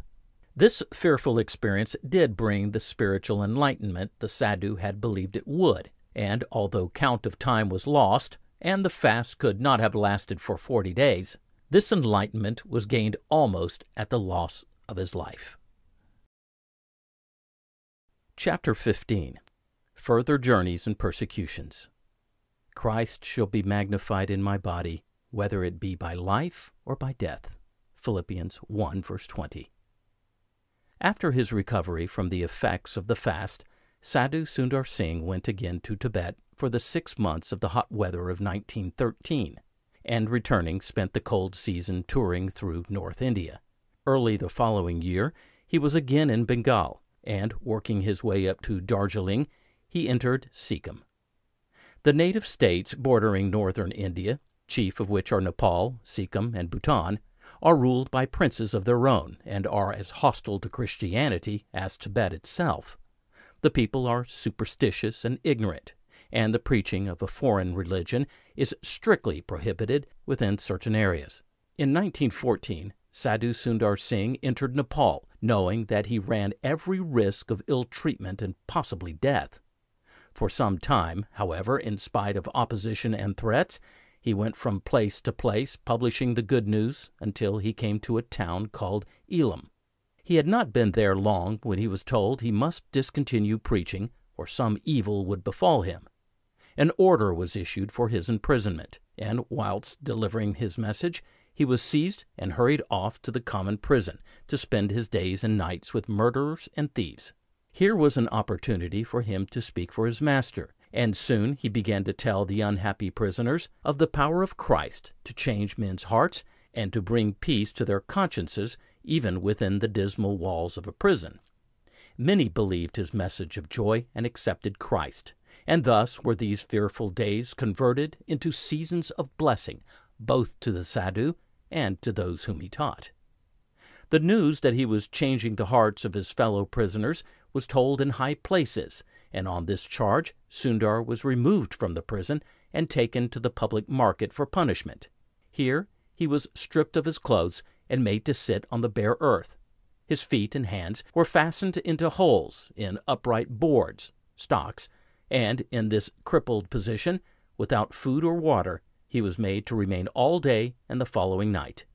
To add to his tortures, a number of leeches were thrown over his naked body and these immediately fastened upon him and began to suck his lifeblood. He carries the marks of this horrible treatment today, so that of him it may be truly said, I bear in my body the marks of the Lord Jesus. A mocking crowd stood round to watch his torture, and none offered him even a drink of water to relieve his physical misery. In speaking of this experience to the writer, the sadhu said, I do not know how it was, but my heart was so full of joy I could not help singing and preaching. Through the long night he agonized, growing hourly weaker with loss of blood, but when morning came he was still alive. When his persecutors saw the Sadhu's tranquil face, they were filled with superstitious dread, and being sure that he held some strange power they did not understand, they took him out of the stocks and set him free. This dreadful experience had made him so weak that he fell unconscious, and only after some time and many attempts did he manage to crawl away from the spot. In that place were some secret believers belonging to the sannyasi mission, spoken of in a later chapter, and these kind people received their wounded brother and cared for him until strength returned. The sadhu's brief record of his days in the prison of Elam will be found in a later chapter and, as in his case it is to be expected, he ascribes his great joy in that dreary place to the near companionship of his never failing friend, Jesus Christ. At Srinagar in Garhwal, he had a most unexpected experience. He knew that this was a dangerous place in which to speak of Christ, But one day, when he was preaching outside the city, some young men taunted him by saying he dare not say such things inside the city. He felt impelled to accept the challenge, and, entering the city, he went to the marketplace and there started to preach. Upon seeing this, some of the bystanders hurried off to bring the pandit of the place, hoping he would controvert the sadhu's statements and put him to shame. When the pandit arrived, he went up to Sundar, and in front of all the people he placed his two forefingers in the sadhu's mouth with the words, I have done this to prove that we are brothers, and not enemies as you suppose, for we both believe in Jesus Christ as Savior. The effect upon the crowd was electrical, and before many minutes had passed, all his enemies had vanished away.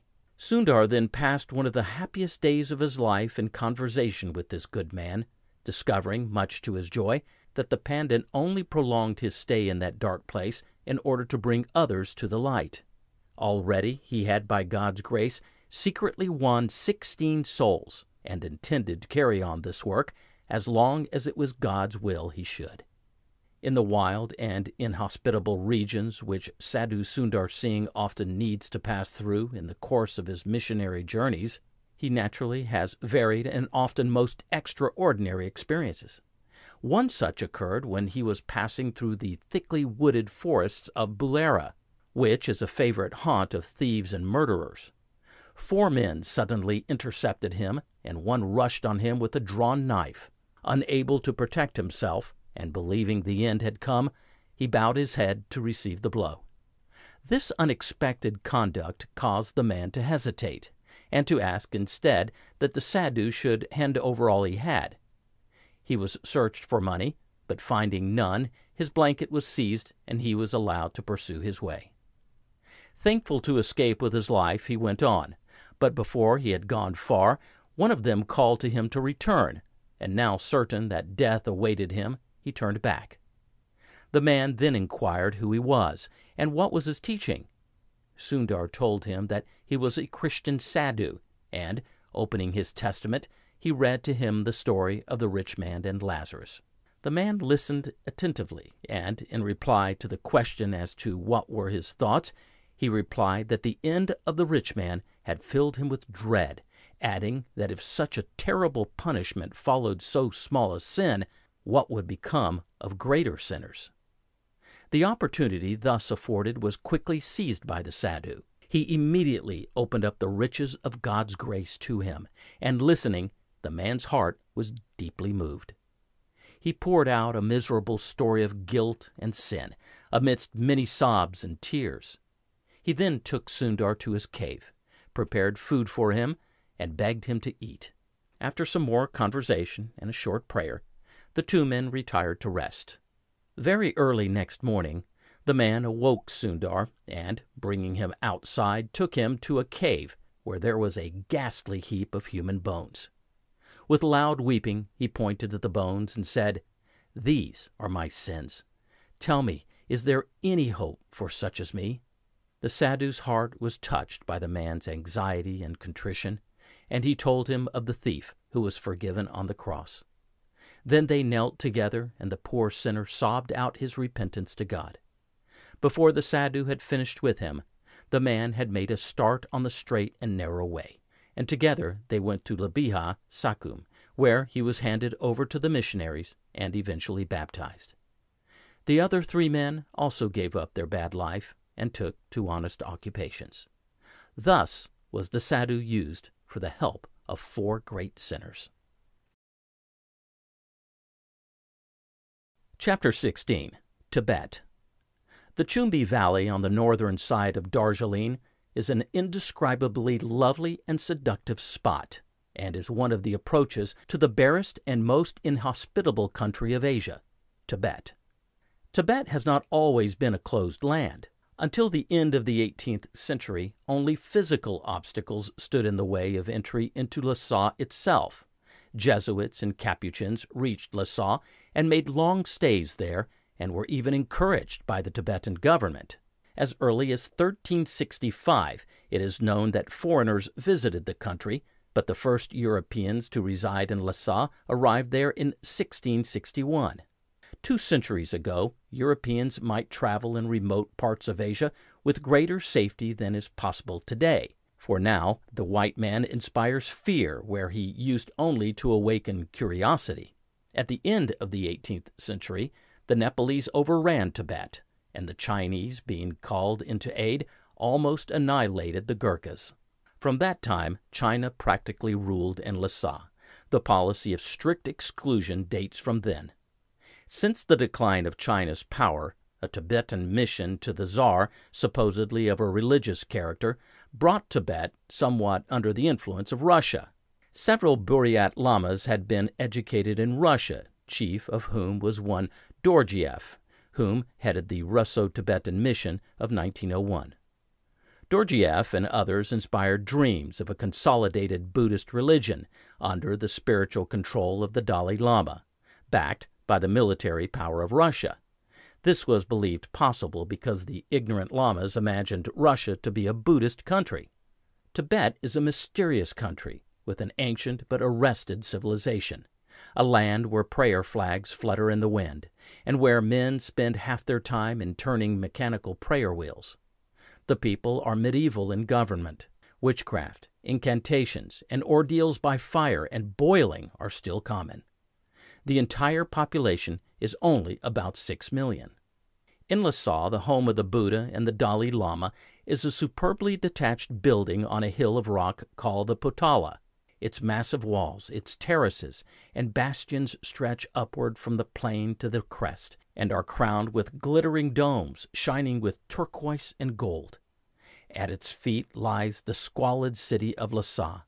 Buddhism holds all life sacred, yet this place, where dwells the divine incarnation, has witnessed more murder than even the blood stained castles of medieval Europe. The Buddhist religion is the one thing that keeps the nation together, and every family must contribute one son to the priestly order of lamas. Hundreds of years ago, a Buddhist saint predicted that Tibet would one day be invaded and conquered, and Buddhism would become extinct. Thus it is that a blind fear and fanaticism combine to keep all doors of entrance closed to this land, and the teaching of a foreign religion more than anything else brings down on the head of the offender the severest persecution and even the most cruel death. Chapter 17 Sundar in Tibet 1 When I came to preach Christ's gospel, a door was opened unto me of the Lord 2 Corinthians 2, verse 12. A great door, and there were many adversaries. 1 Corinthians 16, verse 9. Their feet are swift to shed blood, and the way of peace have they not known.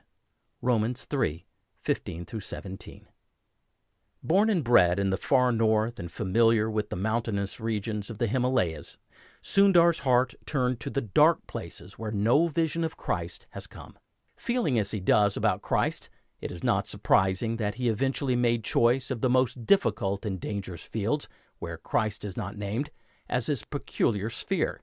It therefore seems quite a natural thing that the mind of Sadhu Sundar Singh should have turned to the closed land of Tibet soon after he set out to preach the gospel. For more than a century, the vast continent of India had had its missionaries, and hundreds of thousands of India's children had responded to the call of Christ many of whom, in their turn, had become messengers of peace to their own people. In his own words, there are many to proclaim the truth in India. But as he turned towards Tibet and the contiguous country of Nepal, his heart went out to the people who have no means of hearing of Christ. Foreign missionaries are debarred from entering the country, and it is scarcely easier for an Indian, for he must not only face the inhospitability of the bitter climate, but the active hostility of a half civilized and wholly fanatical people.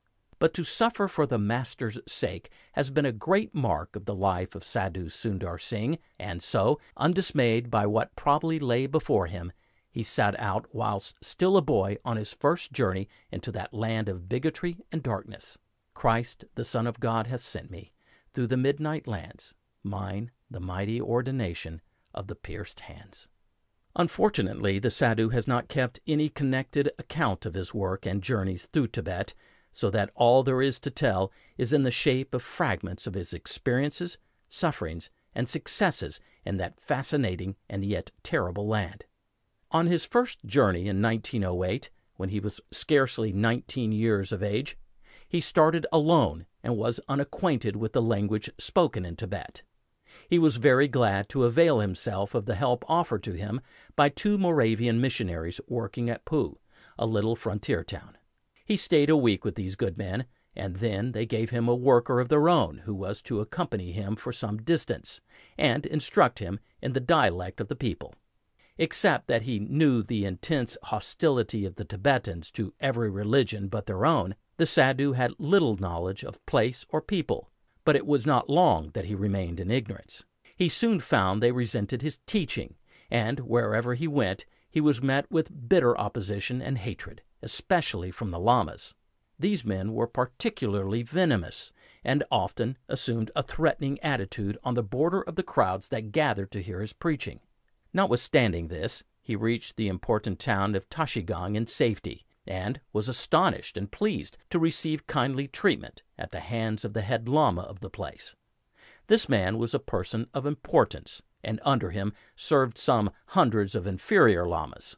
The lama not only received the sadhu with kindness, but provided him with food and shelter, and as the weather was bitterly cold, this hospitality was mostly acceptable. Moreover, the Lama called a gathering of those under his control to hear the sadhu's message and so the gospel was preached by him with great thankfulness of heart. Journeying on from this place, he was fortunate enough to arrive at a town under the rule of another Lama who was a close friend of the Lama at Tashigang, and here again he was accorded a welcome and a good hearing. From this place he visited several other towns and villages, but in these he met even greater opposition than in his earlier work. He was constantly threatened and warned to get out of the country lest some evil befall him. But he was not to be thus terrorized, and he continued his work amidst many difficulties. Thus has Sadhu Sundar Singh besieged this stronghold of bigotry and fanaticism, and in doing so has passed through many tribulations. But to him, persecution and infamy are as nothing if he may win but one soul for his Savior.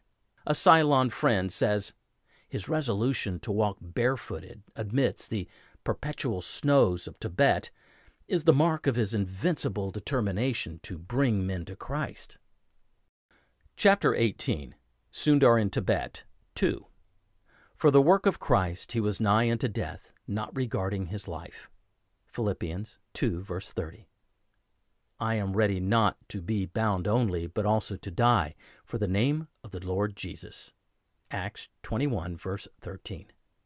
With a deep determination to make the name of Christ known in this hostile country, the Sadhu continued his work, knowing that sooner or later bitter persecution would be his lot. At a town called Rasar, he was arrested and arraigned before the head lama on the charge of entering the country and preaching the gospel of Christ he was found guilty, and amidst a crowd of evil disposed persons, he was led away to the place of execution.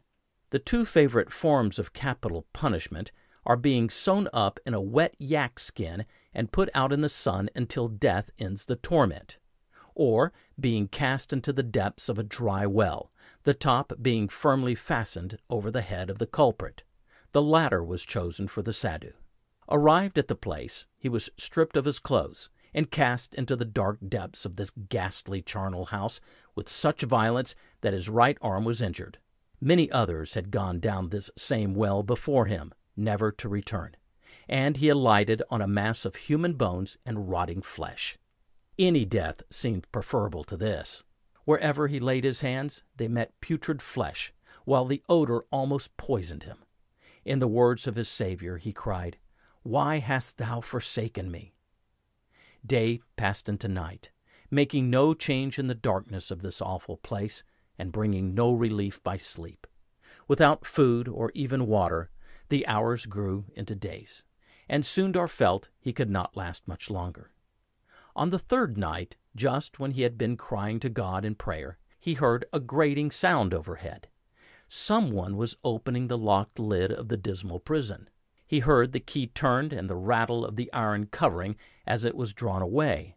Then a voice reached him from the top of the well, telling him to take hold of the rope that was being let down for his rescue. As the rope reached him, he grasped it with all his remaining strength, and was strongly but gently pulled up from the evil place into the fresh air above. Arrived at the top of the well, the lid was drawn over again and locked. When he looked round, his deliverer was nowhere to be seen, but the pain in his arm was gone, and the clean air filled him with new life. All that the Sadhu felt able to do was to praise God for his wonderful deliverance and when morning came, he struggled back to the town, where he rested in the serai until he was able to start preaching again. His return to the city and his old work was cause for a great commotion. The news was quickly taken to the Lama that the man they all thought dead was well and preaching again. The Sadhu was again arrested and brought to the judgment seat of the Lama, and, being questioned as to what happened, he told the story of his marvelous escape. The Lama was greatly angered, declaring that someone must have secured the key and gone to his rescue.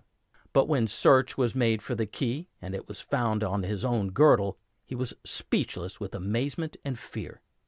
He then ordered Sundar to leave the city and get away as far as possible, lest his powerful God should bring some untold disaster upon himself and his people. Thus was Sundar delivered from a fearful death and praised God for interposing on his behalf. Chapter 19 Further Experience in Tibet. Most gladly will I rather glory in my infirmities, that the power of Christ may rest upon me. Therefore I take pleasure in persecutions, in distresses, for Christ's sake. 2 Corinthians 9, verse 10. Dr. Fosdick, in his Manhood of the Master, says Jesus made the right attitude toward hostile men, not a negative refraining from vengeance, but a positive saviorhood that prays for them, blesses them, and sacrificially seeks their good. This is the attitude of Sadhu Sundar Singh in all his work and life of suffering amongst the peoples of Tibet and other hostile states to whom he carries the gospel of Christ. In the course of his addresses, he sometimes gives illustrations from his own experiences. In speaking on the text, He that loseth his life shall save it, he told this amazing story. He was one day making a journey across some mountains in Tibet on a bitterly cold day when snow was falling. Both he and a Tibetan companion who was traveling with him were almost frozen to death and despaired of reaching their journey's end alive. Do that again. Both he and a Tibetan companion who was traveling with him were almost frozen to death and despaired of reaching their journey's end alive. They came to a deep precipice to find a man lying there, apparently dead. Sundar suggested they should carry him to a place of safety, but the Tibetan declined, saying it was all they could do to get into safety themselves, and he passed on his way. With difficulty, the sadhu lifted the man on his own back and began to struggle forward with his heavy load. Soon the exertion brought warmth to him and communicated itself to the helpless body over his shoulders. He had not gone very far when he overtook his Tibetan companion, who had fallen stone dead across the path. Eventually, Sundar arrived at the village. By the time the half dead man had recovered consciousness, and they both thanked God for lives snatched from the jaws of death. The Sadhu said he had never known a better practical exposition of the words, Whoever will save his life shall lose it, and whosoever will lose his life for my sake shall find it. On another occasion, the Sadhu had been climbing over rough crags when he came to a cave in which he saw a man praying. In order that he should not fall asleep, the man had tied his long hair to the roof of the cave, and with closed eyes he strove hour by hour to meditate and pray. Sundar entered the cave and asked the man why he was thus suffering. Like many others, this man had spent most of his life in worldly pursuits, but deep down in his mind there was a haunting fear of a dreadful unknown future. This at length drove him to forsake the world, and he had come to this remote spot in the hope of finding satisfaction in prayerful meditation. He explained that no relief had come to his spirit, the Sadhu opened his testament and read to him such words as, Come unto me, and I will give you rest. he proceeded to explain the true way through Jesus Christ.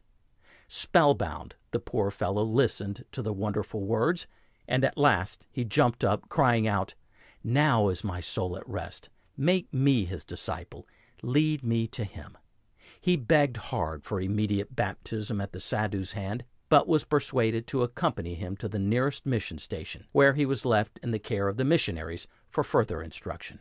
Sundar tells of another place where his messages had met with great hostility and the people were converted into friends by an accident. He was climbing a steep mountain when he slipped and fell, and in his fall a large stone was displaced and rolled over the precipitous cliff onto a place beneath. It happened that just where the stone fell, a huge cobra was lying and was immediately killed.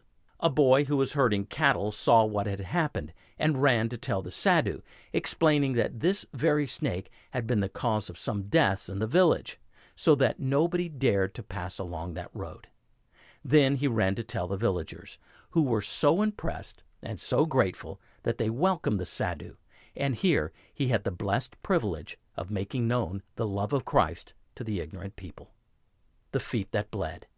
The rough mountain track had torn his feet, and Sundar sat down to bandage the wounds.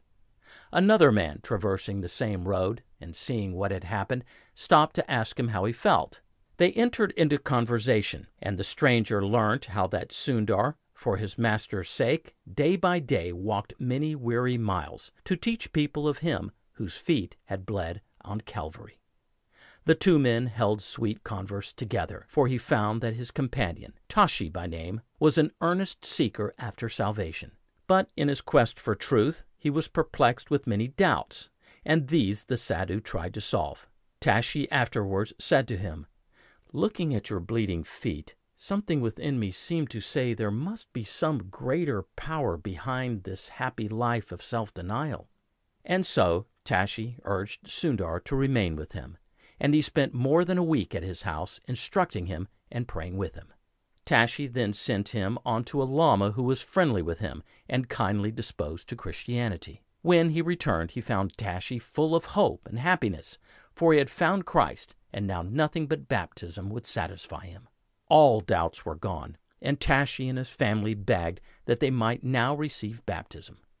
So before leaving, Sundar had the great joy of baptizing Tashi and his whole family, nine persons in all. Being chief secretary to the Lama of the district and a man of importance, Tashi has not been called upon to suffer for his faith, but he is under strict orders not to persuade others to follow his example or in any way to propagate the new faith.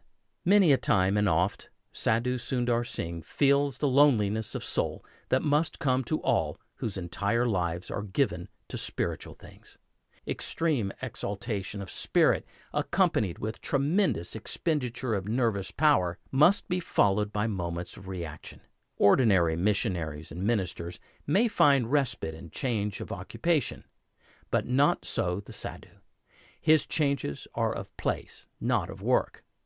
Day by day, his unwearied search for souls continues and whether in the churches and conventions of Christians or amongst the non Christian peoples, the strain never relaxes.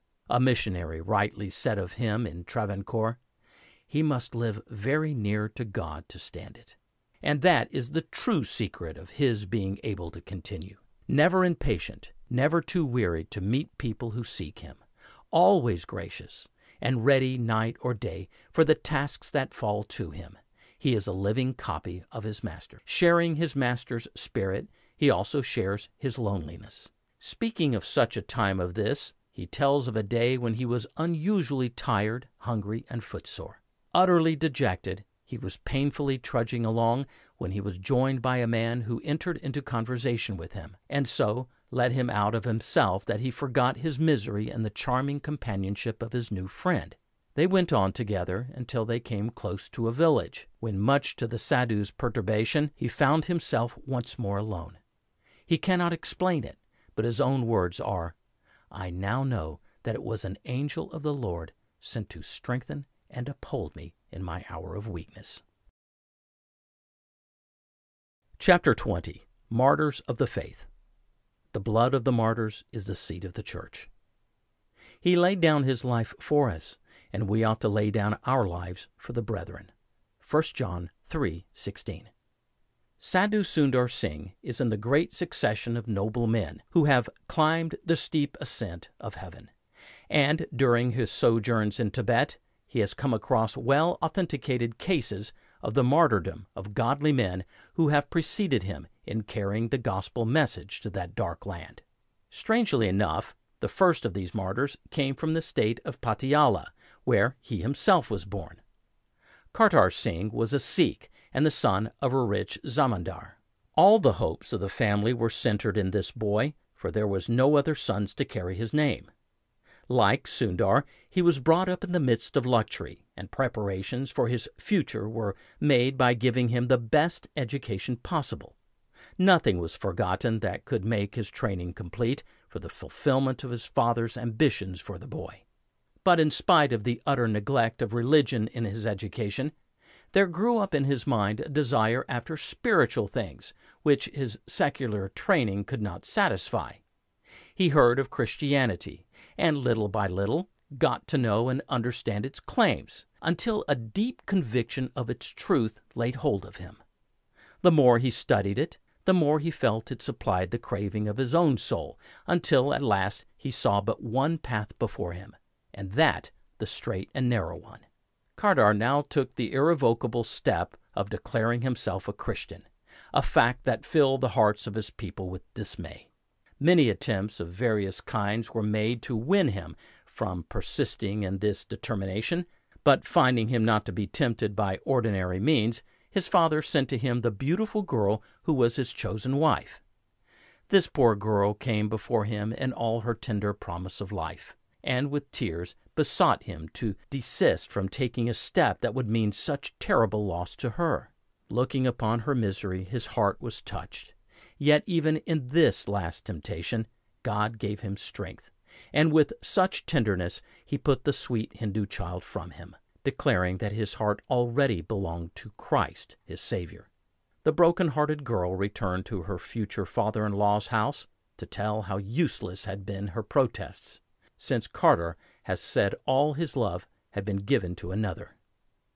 Not long afterwards, Kartar was driven forth homeless from his father's house.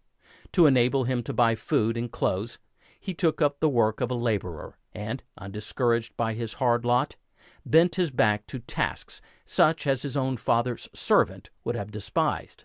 Very soon, however, Kartar began his mission to the people of his own country, and went preaching among the towns and villages of Patiala, where he trod the thorny and difficult path that was to prepare him for the harder future awaiting him. After preaching in many places in the Punjab, Kartar turned his steps toward the mountains that lay between him and the darkest Tibet, and after some weeks of weary journeying over rough country, he found himself in the land of his choice. The Buddhism of Tibet has no place for Christ, whose very name arouses the deepest feelings of hatred and opposition. No record remains that Kartar met with such personal kindness or that his message was accepted, but no thought of going back seems to have occurred to his mind. These people were without Christ and had need of him, and as Christ had given his life, so Kartar was prepared to sacrifice his life also, that at least his witness should be borne and his love testified to before his persecutors. Although hearts were touched by the sight of his youth and the fervor of his message, there was little courage to take his part, and it was only after his death that the fruit of his labors and testimony came to light. Kartar saw, as our Savior did before him, that the thorny path could only end in one way. In spite of numerous efforts to drive him out of the country, he continued his preaching in many places for some time, but eventually he was hauled before the Lama of Tsingham and charged with unlawfully entering the country with intent to teach a foreign religion. The end he had looked forward to had come, and with undaunted courage he faced the inevitable, trusting to God to give him the necessary grace to witness to his faith to the end. As Sundar afterwards heard, Kartar heard his sentence without a quiver and with firm step turned away from the judgment seat to walk to the place of execution. On the way, he delivered his last message, urging on the crowd the necessity of seeking salvation through Jesus Christ, and one at least of those who heard his words remembered them, and through them found the Savior. Arrived at the place of execution, Kartar was stripped of all his clothes and was sewn up in a wet yak skin, which was then put out in the sun. A cruel, mocking crowd stood about to witness his tortures, and as the skin shrank and tightened round him, they laughed to hear the bones cracking in the slow process of death. By his side on the ground lay the New Testament that had been his one and only comfort through the hard days that had followed his confession of his Master. Unheeded it lay until on the third day, when Kartar knew the end was drawing on, he asked that his right hand might be set free for a moment. This was done probably more from curiosity than mercy. Collecting all his strength, Kartar wrote his last message on the flyleaf of his New Testament. In English, Is this a deathbed where a Christian lies? Yes, but not his. 'Tis life itself that dies. In Persian character, in Urdu character. Translation From God I life besought, not once, but a hundred thousand times, that to that friend again, as oft I might return it. That love for him, Khosrawa, shall not be less than hers, the faithful Hindu wife, who on the burning pyre draws her heart to the loved one, and lays her life beside him. The life he gave to me was what I gave to him. True is it that though I did all, yet all I could not do. No cry of anguish escaped the brave lips, but as evening came on, Kartar gave thanks aloud to God for comfort in death, and quietly passed away with the words, Lord Jesus, receive my spirit. Sadhu Sundar Singh found that Kartar's father was still alive, and, upon his return to the plains, he sought the old man out, telling him the story of the death of his heroic son, and speaking of the great love of Christ that had borne him through. The old man listened with a softened heart, and Sundar had the joy of hearing him say, I too believe in him. Amongst the crowd who watched the passing of Kartar Singh was the chief secretary of the Lama of Tsingham. He noticed the little testament in which this hero of the cross had written his last message, and taking it up, he carried it home and commenced to study it. With the memory still fresh in his mind of the words and conduct of a brave man, his heart was open to receive the message the book had for him, and in reading it, there came a new light and joy to him. For some time he pondered the wonderful things he now believed, but as the realization of them more and more filled his soul, he could no longer keep his secret, and one day revealed to his master, the Lama, that he had given his heart to Jesus. The Lama then declared that he also must die. Pitilessly, he was judged and sentenced to the same death as Kartar. Lying in the wet yak skin in the sun was not cruel enough to teach the onlookers that this sort of thing, if persisted in, would add to the bitter punishment. So red hot skewers were thrust into his body to increase his agonies as if his tormentors were weary of waiting for the inevitable end, he was then taken out of the skin. A rope was tied around his mutilated body, and he was dragged through the streets of the town. Splinters of wood also being driven under the nails of his feet and hands. His body was then thrown onto a dust heap outside the town, and he was left for dead.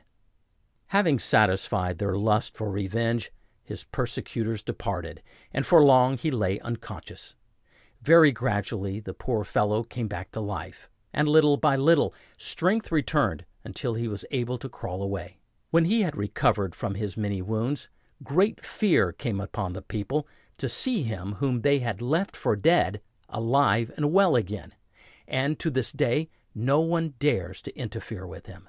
Superstitious dread of a supernatural power they believe him to possess prevents attempts to take his life, so that when Sadhu Sundar Singh heard from his lips the story of Kartar, he also heard how wondrously God enables this brave man to continue preaching Christ boldly among the people of Tibet. These and other histories like them Sadhu Sundar Singh has himself gathered during his missionary journeys through darkest Tibet and other regions where the light of the gospel has scarcely pierced.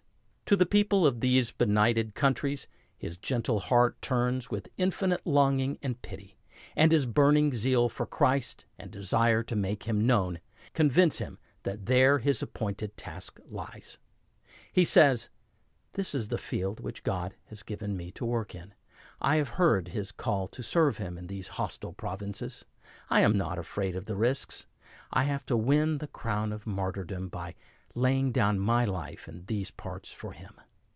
That Sundar Singh may be used of God to bring gospel light to the people of these dark places is the prayer of those who know, love, and revere him. But none can pray without earnestly pleading with God to spare his wonderful life, that rather by labors more abundant than by the supreme sacrifice he may serve his master and his generation. Chapter 21 Sundar's Mysticism The study of a character like that of Sadhu Sundar Singh cannot fail to be both interesting and instructive, for in a materialistic age he is a man untouched by materialism. Mr. K. J. Saunders, in The Adventures of the Christian Soul, says Mysticism is the passionate search of the soul in love with God, and the claim that this search has been rewarded. The mystic consciousness is marked by simple, clear, and insistent ideas. Possessing God, the mystic desires nothing more. The passionate love aroused in the heart by Christ explains his clear insight into spiritual things and the tenacity of his pursuit of lofty ideals. Thus is Sundar Singh a true Christian mystic, and so closely has he studied the life of Christ, as it is written in the New Testament, and so constantly has he imitated his example, that naturally he lives in an atmosphere only now and then enjoyed by the ordinary Christian. His wandering life of poverty in a country like India brings endless opportunities of recognizing his Father's hand in all things, so that often where others would see only the common mercies of daily life, the sadhu praises God for special help in special need. He is familiar with the deepest agony of soul and with the most intense joy. Nights of prayer alternate with long days of toil for his Lord close and prayerful study of the New Testament is combined with equally close communion with Christ. A yearning desire to save lost souls that gives him no respite from his labors is balanced by a deep devotion and love for his Savior that fills his heart with peace and shines in his face. The things of the spiritual life are more real to him than those of the temporal. So near does he live to the great world of spirits that to him there is nothing strange in the ministry of angels. He looks upon it as God's provision for a great need, and when, in his own experience, some unusual event has come to pass, he simply believes that God cares enough for the individual soul to interpose on its behalf. The mysteries of life and death and the great beyond bring no distress or doubt to his mind, and he does not puzzle the minds of his hearers with them but deep down in his contemplative mind they hold their place and are a source of infinite satisfaction to him. The marvelous records of some of the sadhu's experiences have preceded him in most places he has visited. Matter of fact people have been prejudiced by them, and emotional ones have looked for revelations and even for miracles performed by him. Yet, one and all, after seeing and hearing him, have been struck by his sane teaching and well balanced mind. His own version of the deliverances he has had falls so naturally from his lips that it sounds like the straightforward, simple statement of a second Acts of the Apostles. In relating these experiences, Sadhu Sundar Singh says that God has stretched forth his hand to save when nothing else could avail. This is the simplest explanation in view of the fact that for so long and under such signal difficulties and dangers, the Sadhu has worked in the closed lands of Tibet and Nepal. Incidents such as the following show the spirit in which the Sadhu takes his deliverances. On one occasion, he was preaching in a village of Nepal called Kantsi, where considerable opposition was being shown. The villagers seized him and, rolling him up in a blanket, hustled him out of the place, but a stranger passing by took his part and released him. The day following he was again preaching in the same place, and this so angered the villagers that they took him and bound him by his hands and feet to a tree and left him there. Slowly the day wore on, and being faint for want of food, he looked longingly at the fruit on the tree just out of reach. In that strained position, he at last fell asleep from exhaustion. In the morning he woke to find, to his amazement, that his bonds were loosed. He was lying at the foot of the tree, and by his side lay some fruit. He then praised God for the suffering he had endured for Christ's sake, ate the fruit with thankfulness of heart, and went on his way filled with fresh courage to preach the word to those who know it not. On another occasion, when he was in a place called Terai, some men told him that in a certain village the people were anxious to hear the gospel, and they gave him instructions as to the way he should take. Following the directions, he wandered on for a long time through marshy, jungly country, but without seeing any signs of a village. The undergrowth grew thicker, and presently he discovered he was lost in a jungle from which there seemed no escape. Arrived at a stream, he thought that by crossing it he might find a way out, but on stepping into the water, he found the current so strong that any attempt to cross it would endanger his life. Evening was closing in, and, in a dejected frame of mind, he sat down by the stream and considered what next to do. Listening to the weird sounds of the jungle, and watching the increasing darkness, his mind became full of apprehension, for soon the wild animals would steal from their haunts in search of food, and his life would be safe no longer. He prayed earnestly to God, and then looking across the river in the gathering gloom, he caught sight of a man, and the words reached his ears, I am coming to your help. Then he saw the man plunge into the stream and swim across, and, taking the Sadhu on his back, he swam to the other shore with him. Arrived on the bank, he saw a fire at which he began to dry his wet clothes. But even as he did, so the stranger disappeared, and the Sadhu was left to meditate on the wonderful ways of Providence in thus sending help to him in this unaccountable way. Yet one more instance is worth relating. The Sadhu had been preaching at a place called Kamyan, where much bitter enmity had been exhibited. The whole day had passed without his being able to get any food. So hungry and weary, he found himself in a desert place, without shelter for the fast closing in night. Very weak and miserable, he lay down under a tree and soon fell asleep. About midnight, it appeared to him that someone touched him and bade him arise and eat, and upon looking up, he beheld two men with food and water standing over him. Imagining that some villagers had had pity on his condition, he gratefully partook of the refreshments thus offered to him. When his hunger was satisfied, he turned to converse with the men who had brought the food, but there was not a soul to be seen anywhere. How they had disappeared he could not tell, but again he blessed God for his kindly provision for him in time of need. Doubtless such instances could be multiplied, for in a life like that of Sadhu Sundar Singh, there are frequent manifestations of the good hand of God.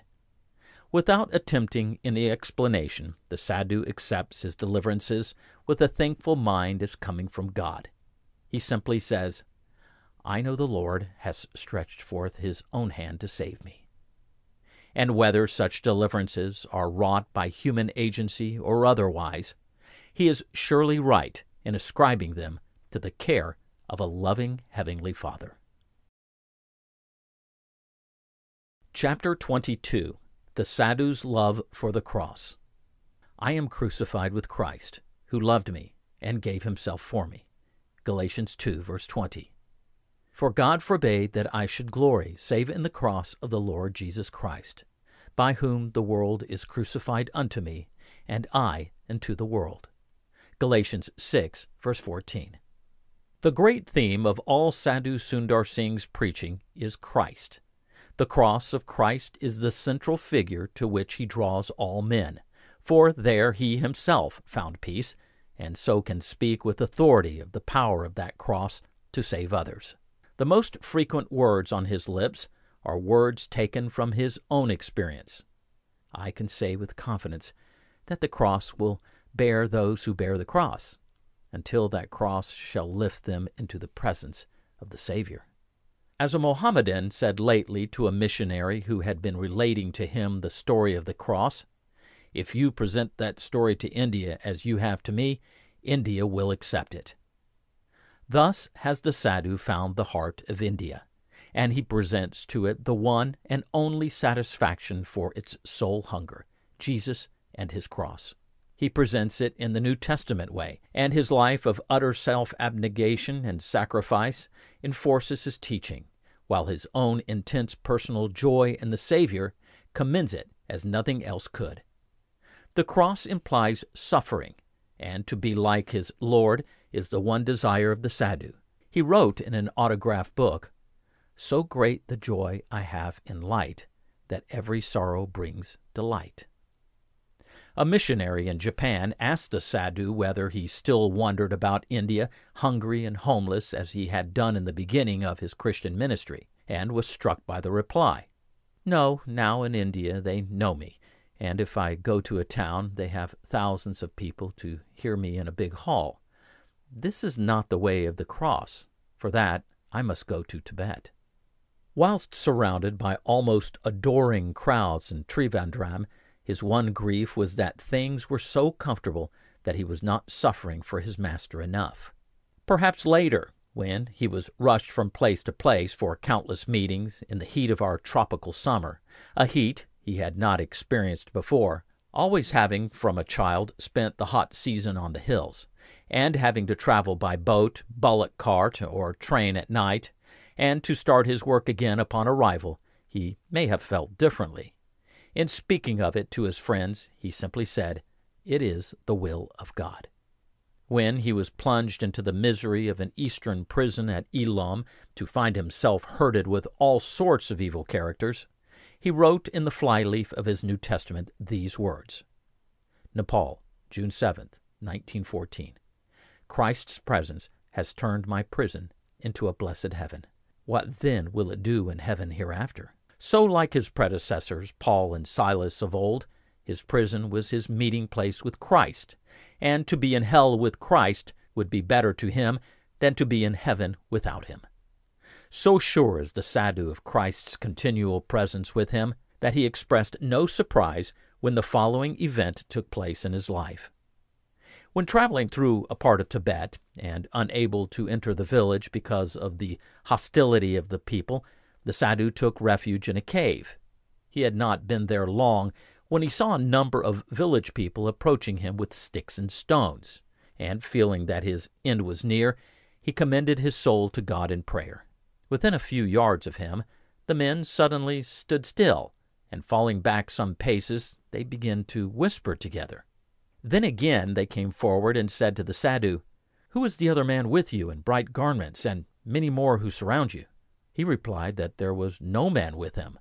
But with awe the men insisted that they saw a host of bright ones standing all around the cave. Then the men besought the sadhu to accompany them to their homes, and going with them, he spoke of Christ so that they feared and believed his words. He then knew that God had sent his angels to protect him in danger and to open the way for him to preach to these men. A few years ago, the sadhu wrote, I thank God that He has chosen unworthy me in the days of my youth, that I may spend the days of my prayer in His service. Even before baptism, my power to God was that He should show me His ways, and so He, who is the way, the truth, and the life, did show Himself to me, and called me to serve Him as a sadhu and to preach His holy name.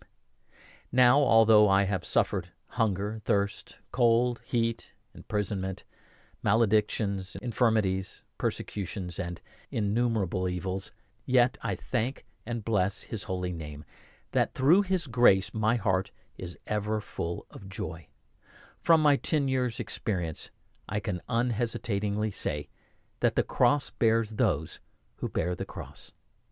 Today, the sadhu bears the same testimony to the writer, adding that he hopes God will spare him yet for some years that the fullness of manhood's strength may all be given to him in the precious work of preaching or in suffering, wheresoever his Lord may send him. Chapter 23 Sadhu Sundar Singh and the Sannyasi Mission. It was surely a wonderful provision of God when he called Sundar Singh to be a Christian sadhu. Amongst Christians, his saffron robe gives him a position the best possible for the acceptance of the message he brings. Granted, the same man and message he would assuredly, under any circumstances, have won the heart of the Indian Christian Church, but being a true sadhu in appearance, as well as in spirit, has added enormously to his influence and power. Perhaps nothing has proved more wonderful to Christians everywhere than the humility and simplicity of the sadhu's spirit, and no one is more filled with wonder than himself when crowds linger about him just to look at his face. But the most remarkable results of his being a sadhu are apparent in his life and work amongst non Christians. This he looks upon as his sworn task. Naturally, his sadhu's robes gain him an entrance to places and to people as nothing else could. Often, in the course of his pilgrimages from place to place, he comes across unusual types of Indian sadhus, and it has been his privilege to discover to the world a marvelous movement towards Christianity amongst the most deeply religious men of India. The Reverend J. J. Johnson of the Church Missionary Society, who died in 1918, was one of the finest Sanskrit scholars in India. During the latter part of his life, he was set apart by his society for a work he was magnificently fitted for amongst the pandits and learned classes throughout India. The story of this work is a romance waiting to be written. On his last visit to the South, he told us that he believed there were great numbers of the highest castes of India waiting to become Christians, a statement made after years of intimate relationship with the leaders of religious thought in India. But it was reserved for Sundar Singh to lift the veil and prove the truth of this astounding statement, and this is how it came about.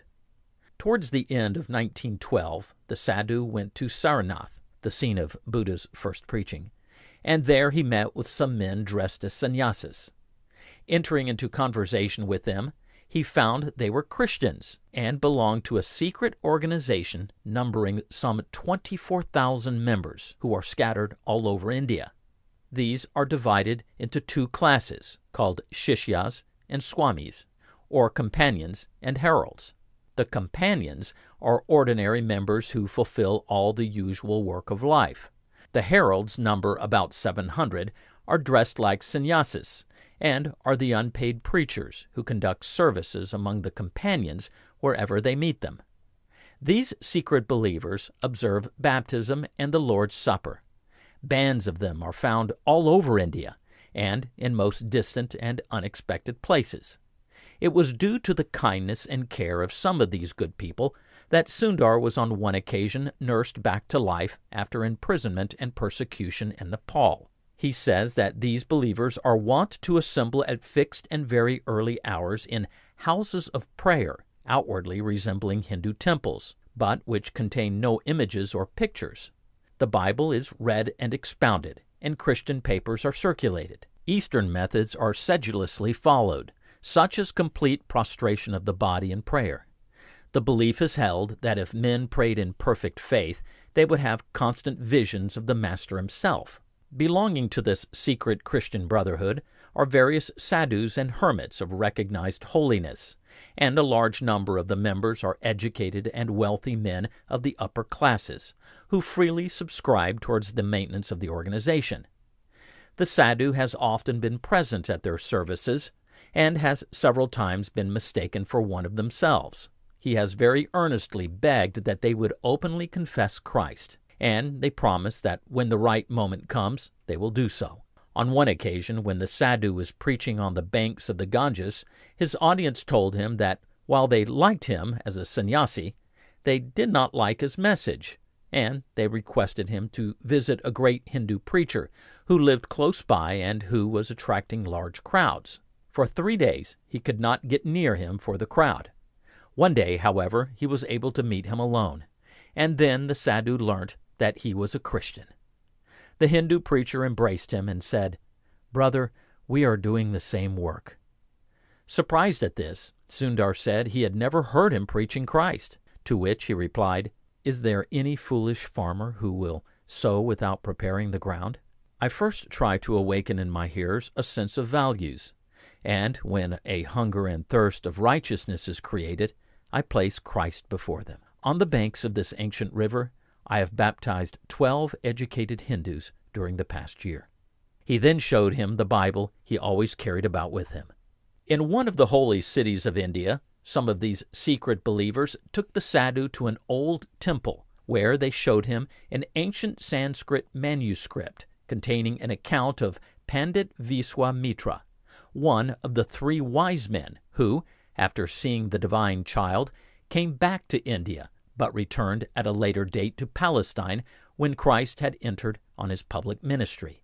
They claimed that he was the one of whom the disciples complained to the Master that they found him performing miracles and forbade him, because he walketh not with us. This parchment also gives in modern Sanskrit a history of the Brotherhood during latter days. The sannyasi mission does not appear to have flourished much since the days of Carey, when some Christian sannyasis heard the gospel from his lips and were fired with fresh enthusiasm. From that time, the mission prosecuted its work with quickened faith, and its numbers began to increase. In one of the large northern cities, the sadhu was introduced to a famous Hindu preacher who was considered a profound scholar in the Vedas. He heard him lecture on the Hindu scriptures, and towards the end, the lecturer said, The Vedas reveal to us the need of redemption from sin. But where is the Redeemer? The Prajapati of whom the Vedas speak is Christ, who has given his life as a ransom for sinners. When questioned afterwards by Hindus, the lecturer said, It is I who believe in the Vedas, and not you, because I believe in him whom the Vedas reveal, that is Christ. In speaking of this, the Sadhu declared that the great need of our age is that the Church should have a broad vision that the Christian should transcend the limitations of sect and creed and be prepared to recognize the Spirit of God in whatever form he may be made manifest. He added that he fully believed the sannyasi mission is being blessed of God, and although it has taken a form we are not accustomed to, it is given to its leaders to do great things for India. Yeshu Nasri Nath Kijaya. Victory to Jesus, Lord of Nazareth, is the password of this secret brotherhood of Christians in India. Chapter 24 Sadhu Sundar Singh and the Maharishi of Kailash. Some time ago, a North Indian newspaper published the following Our worldless, selfless, and godly brother Sundar Singh has discovered the Christian hermit, the Maharishi at Kailash, who has for years been on the snowy Himalayas praying and interceding for the world. You have revealed to the world the secret of one of the members of our mission, the Maharishi at Kailash. During his pilgrimage in western Tibet, the sadhu was constantly searching for those holy men who retire to the snowy peaks and caves of these distant mountains, there to spend their last days in contemplation. Far from the dwellings of men in the silence of the eternal snows stretches the Kailash range of the Himalayas. The mighty Indus has its source in this range, and its great tributary, the Sutlej, also takes its rise there. The Sutlej flows through the country of Sundar Singh's birth, and at one point where the bed of the stream is 8,494 feet above the level of the sea, the rocky gorge presents a scene of awful sublimity, and is one of the natural wonders of the world. On the summit of one of the mountains of the Kailash range is a deserted Buddhist temple now rarely visited by man. A few miles from this temple dwells the great saint known as the Maharishi of Kailash, in a cave some 13,000 feet above sea level. All this region is the Olympus of India, the seat of Hindu holy myths, and it is associated in Hindu sacred books with the names of great and devout souls of all times. In one cave, the sadhu found the skeleton of some nameless holy man who had died whilst meditating there. The scenery all around is grand and impressive, and amidst the everlasting snows, springs of boiling water bubble up from the frozen ground. Some three days' journey from this place is the famous lake Manasarovar, an exquisitely beautiful and holy place. On the lake float many fine swans, and upon the overhanging cliffs, in sweet picturesqueness, are perched ancient Buddhist temples and monasteries. The sadhu describes this as one of the loveliest places he has ever seen. But he also adds that here too are found the most cruel of nomadic tribes, who slay for the pure love of it, and thus convert the place into a terror to the harmless pilgrims traveling through it. In the summer of 1912 he traveled through these regions alone and on foot, often refreshed by the beautiful scenes through which he passed, but more often fatigued to the last degree in his difficult and fruitless search for the holy men he hoped to meet there. He will never forget the day when, struck with snow blindness and almost wearied to death, he staggered drearily on over snowy and stony crags, not knowing whither he went. Suddenly he lost his balance and fell. Recovering from the fall, he awoke to one of the greatest experiences of his life, for he opened his eyes to find himself lying outside a huge cave, in the shelter of which sat the Maharishi of Kailash in deep meditation. The sight that met his eyes was so appalling that Sundar closed them and almost fainted. Little by little he ventured to make an inspection of the object before him, and then discovered that he was looking at a living human being, but so old and clothed with long hair as to appear at first glance like an animal. Sundar realized that thus unexpectedly he had succeeded in his search after a holy man, and as soon as he could command his voice, he spoke to the aged saint. Recalled from his meditation, the saint opened his eyes, and, casting a piercing glance upon the sadhu, amazed him by saying, Let us kneel and pray. Then followed a most earnest Christian prayer ending in the name of Jesus. Thus over, the Maharishi unrolled a ponderous copy of the Gospels in Greek and read some verses from Matthew chapter 5. The sadhu heard from his own lips the account of his wonderful life. He claimed to be of very great age. The roll from which he had read, he explained, had come down to him from Francis Xavier, and the sadhu noticed that it was all written in Greek uncials, and may therefore prove to be of value to scholars should it come into their possession. The saint said he was born in Alexandria of a Mohammedan family, and was brought up to be a zealous follower of the Prophet. At the age of thirty, he renounced the world and entered a monastery in order to give himself up entirely to religion. But the more he read the Koran and prayed, the more unhappy he became. During these days of spiritual distress, he heard of a Christian saint who had gone over from India to preach in Alexandria and from him he heard the words of life that filled his hopeless soul with joy. He now left the monastery to accompany his teacher in his missionary journeys. After some time spent thus, permission was given to him to go on his own account to preach the gospel wherever God sent him. The saint then started out on an evangelistic campaign that continued a very long time. At last, wearied from his strenuous labors, the saint resolved to spend the remainder of his days in the secluded spot where Sundar found him. During the years spent in this place, the saint had learned much about the products of the mountains and jungles around him, by means of which he has been able to subsist to this day. When the sadhu first met him, he was chilled to the bone by the bitter cold. The saint gave him the leaves of a certain plant to eat, which, having eaten, he immediately felt a comfortable glow steal over his body. The sadhu had long conversations with him about holy things, and heard many strange things from his lips.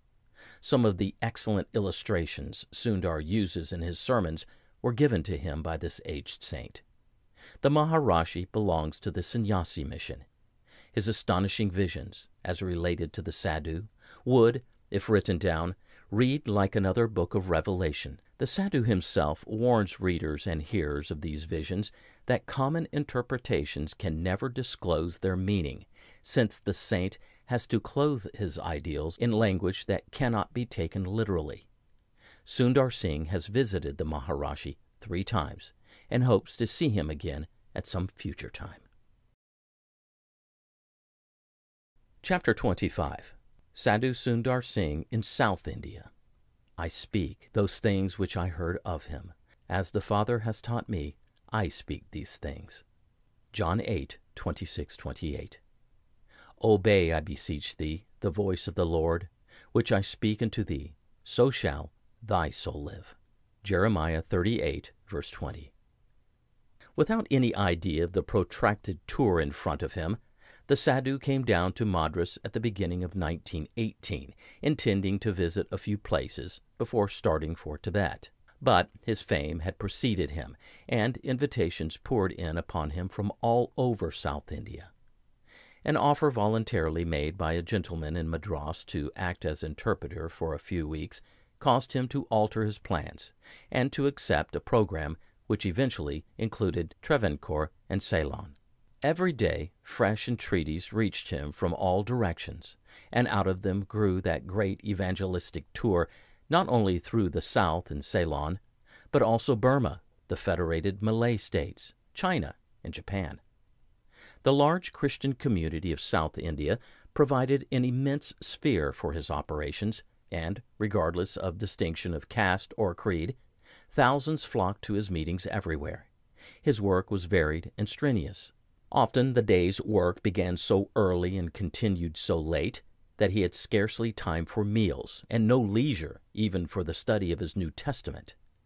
In places where he spent many days, the people rested after his departure as a man does after a good meal. But in no place did people imagine that the sadhu needed rest. Long days of engagements were succeeded by a wearisome night's journey by boat, bullock cart, or train. The new day's work began upon arrival and continued until departure. Public meetings were usually held morning and evening, and for hours between the sadhu sat receiving visitors and holding interviews when he gave advice, solved the religious problems that were presented to him, and answered inquirers as far as he was able. The number present on such occasions varied from a single person to a hundred or more. The value of these meetings was testified to by the witnesses of those who attended them, as also by the fact that the longer the sadhu stayed in a place, the greater were the numbers who sought to see him.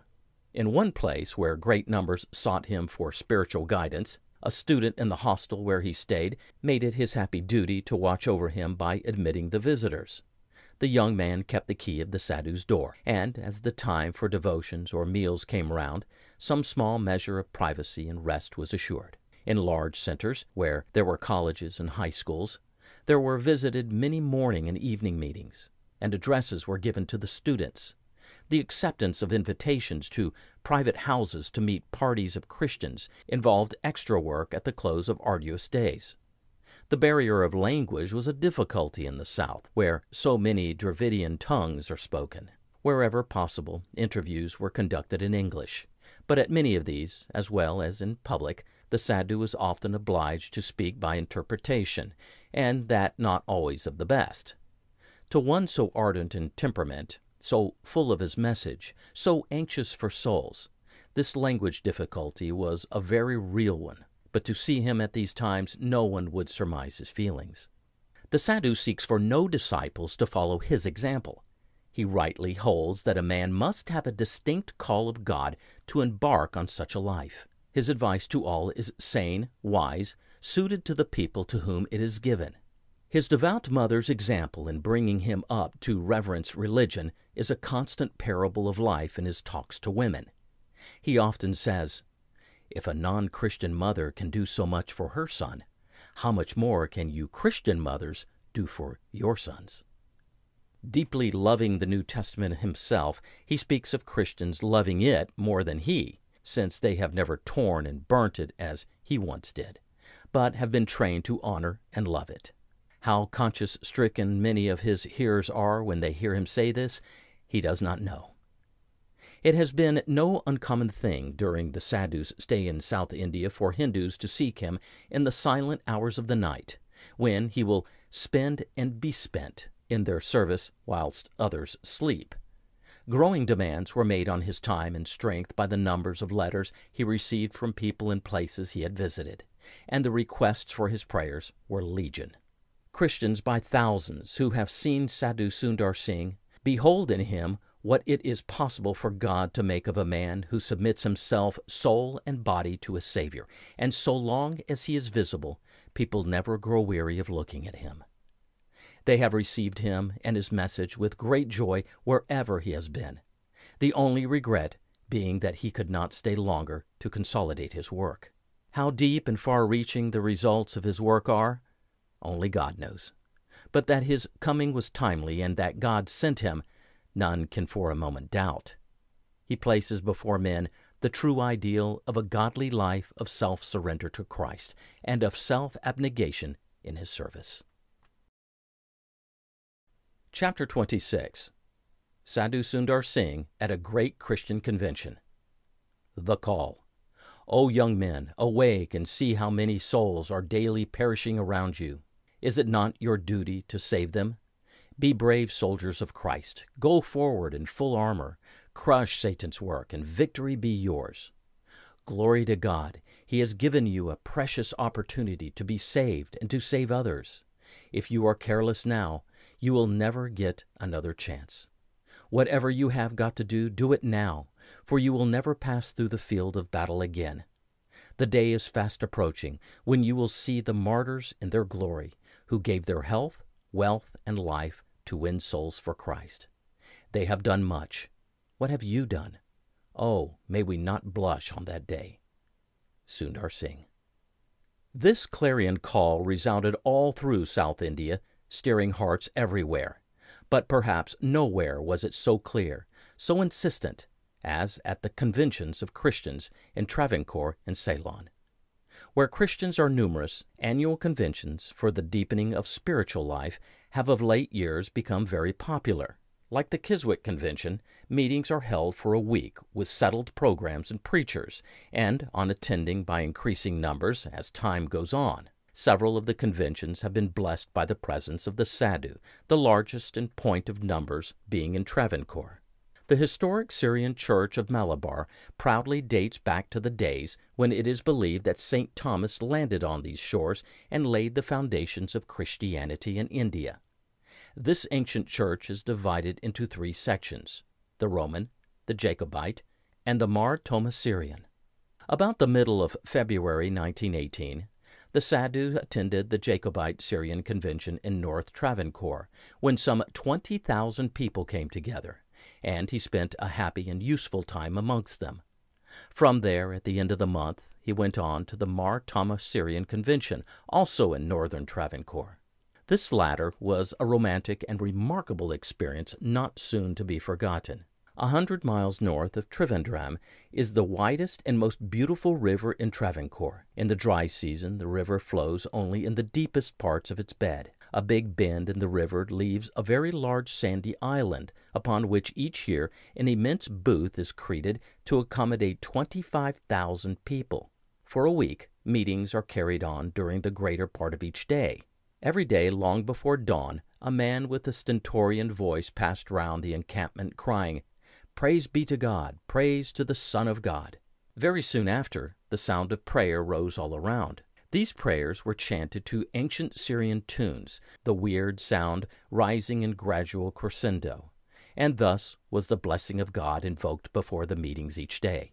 The Sadhu drew greater crowds than usual, so that before the end of the week the booth had to be enlarged, and at the final meeting no fewer than 32,000 people gathered to hear his last message.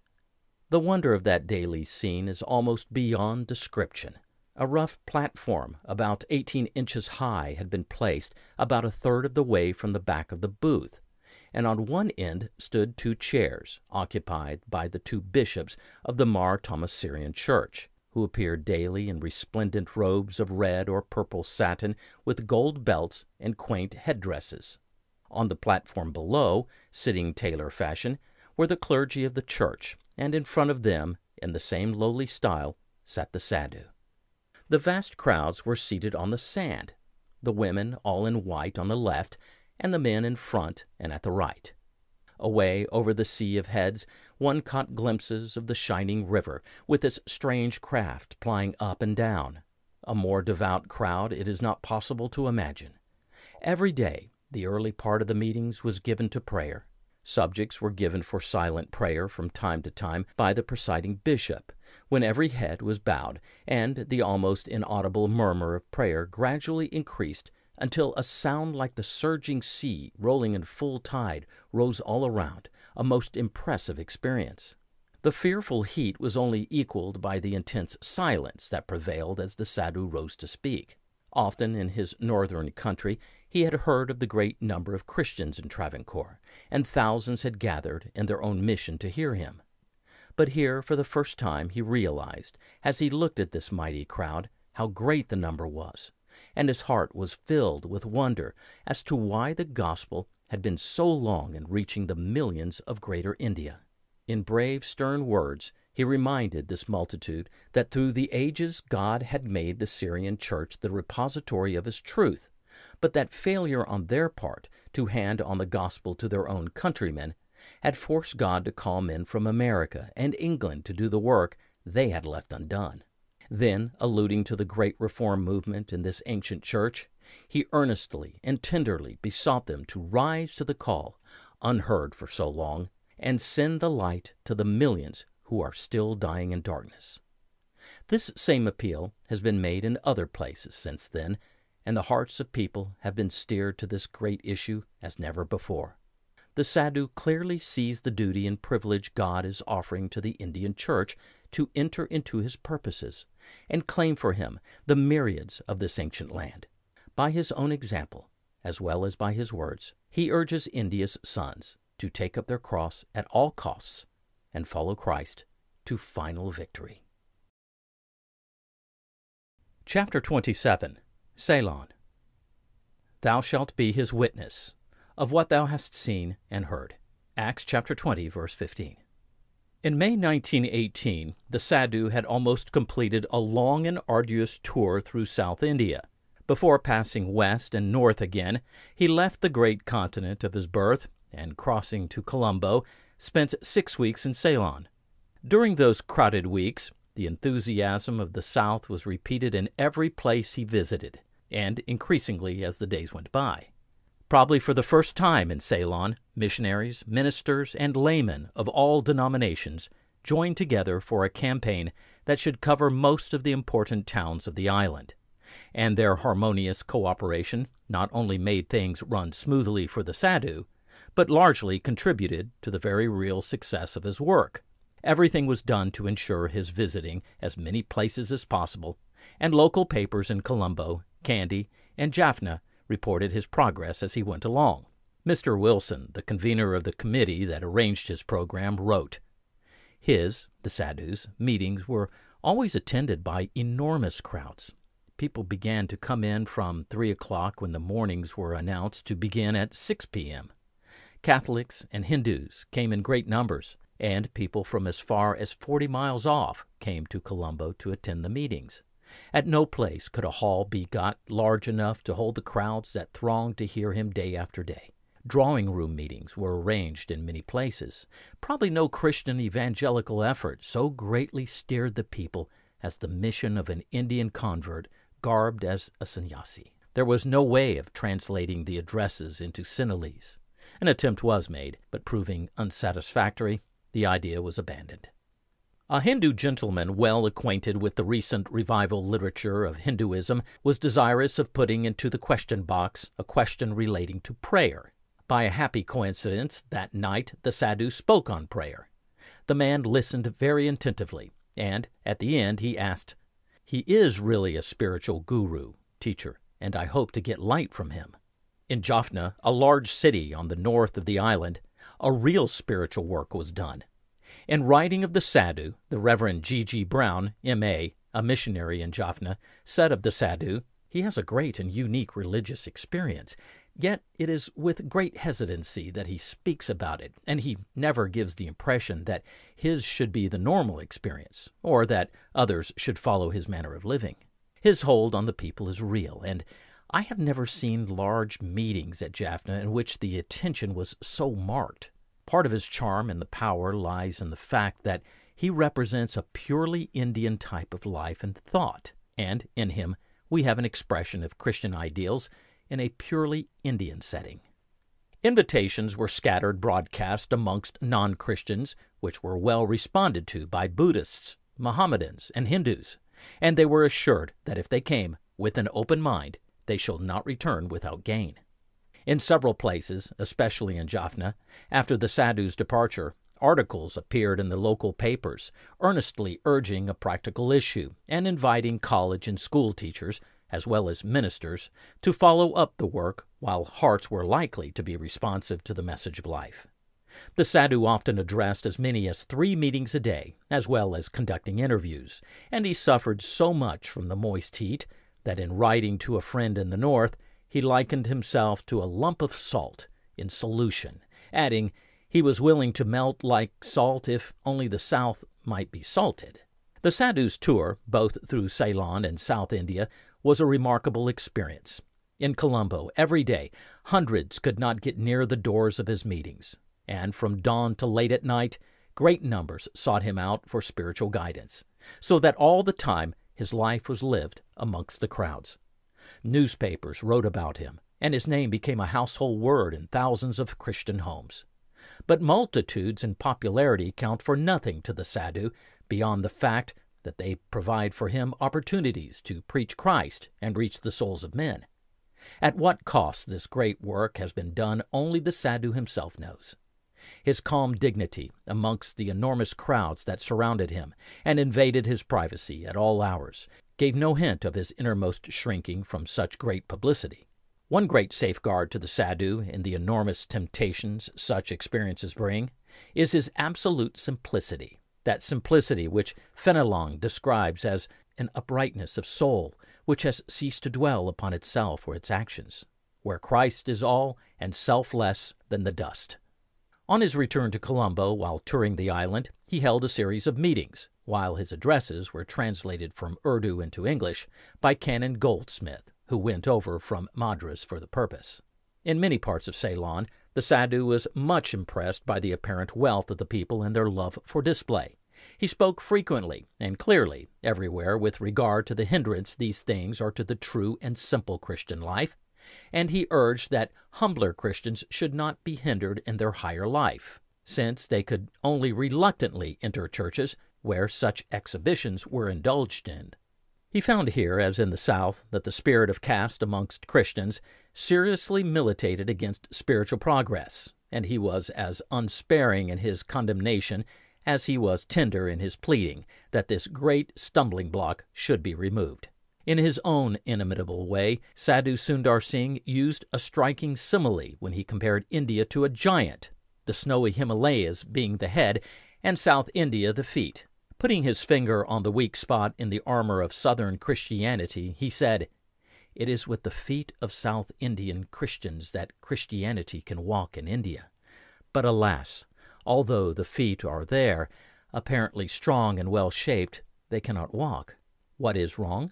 As in the case of a man I saw in Cochin, there is elephantitis in the feet, and this elephantitis is the spirit of caste. Who can speak with greater authority on this subject than Sadhu Sundar Singh himself? Like Paul, who declared himself a Hebrew of the Hebrews, so may the Sadhu claim to be a Sikh of the Sikhs, one of the proudest names in India. But instead, his life testifies to the words, God forbid that I should glory save in the cross of Jesus Christ, by whom the world is crucified unto me, and I unto the world. In passing through Ceylon and India, the Sadhu has made his appeal. Well might he say, Be ye followers of me in this great matter. When will the great Christian Church accept and abide by his teaching and example, and casting off the chains of centuries, enter that fullness of life of which the Sadhu so constantly spoke, and which he himself enjoys? Thus and thus only shall she enter into the abundant and glorious service that shall claim India for her Lord. The visit of Sadhu Sundar Singh to the churches of South India and Ceylon is over. His work is done, and he has passed to other lands and other communities. The hearts of thousands have been touched by his message and his personality, and, though eminently practical, he has stirred deep emotions in every place he has been to. Probably no single man has attracted so much attention and devotion in all the history of the Christian Church in India. During his visit, people constantly besought him to pray for them, to visit and pray for sick friends, and to bless little children. and even to touch his robe brought comfort to many. As the sadhu continued his journey through the south, these requests and this treatment became so general, and reports of his having healed the sick by his touch or through prayer so persistent, that he was obliged to decline requests to visit the homes of people, lest superstitious beliefs should cause them to look upon him as a worker of miracles. When asked to bless people, his reply invariably was, How can these hands bless anyone? These hands that tore up God's word and burnt it in the fire. Not by such means did Sundar Singh arrive to bring men to the feet of his master, but by forceful message and by a living example he showed men how to tread the same path, and with persuasive tenderness he sought to lead them to the Savior. Is Sundar Singh to pass leaving only a burning message and precious memory? Greater than the blessing of his hands, greater than his personality, is the deep desire of his heart that the Christians of India and Ceylon may accept his ministry, put it into practice, live by it, and with him become true and devoted followers of Jesus Christ. Let us arise and, his grace abiding, follow Sadhu Sundar Singh even as he follows Christ. Chapter 28 Unto the uttermost parts of the earth. I live by the faith of the Son of God.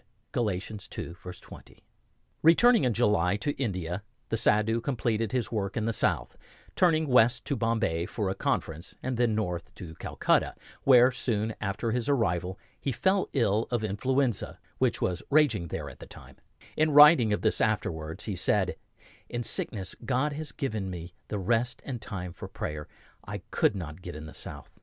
Upon his recovery, he went to spend a few days at Bolpur with the great Eastern mystic Sir Rabindranath Tagore, returning to Calcutta to obey a call to visit Burma and the Straits settlements.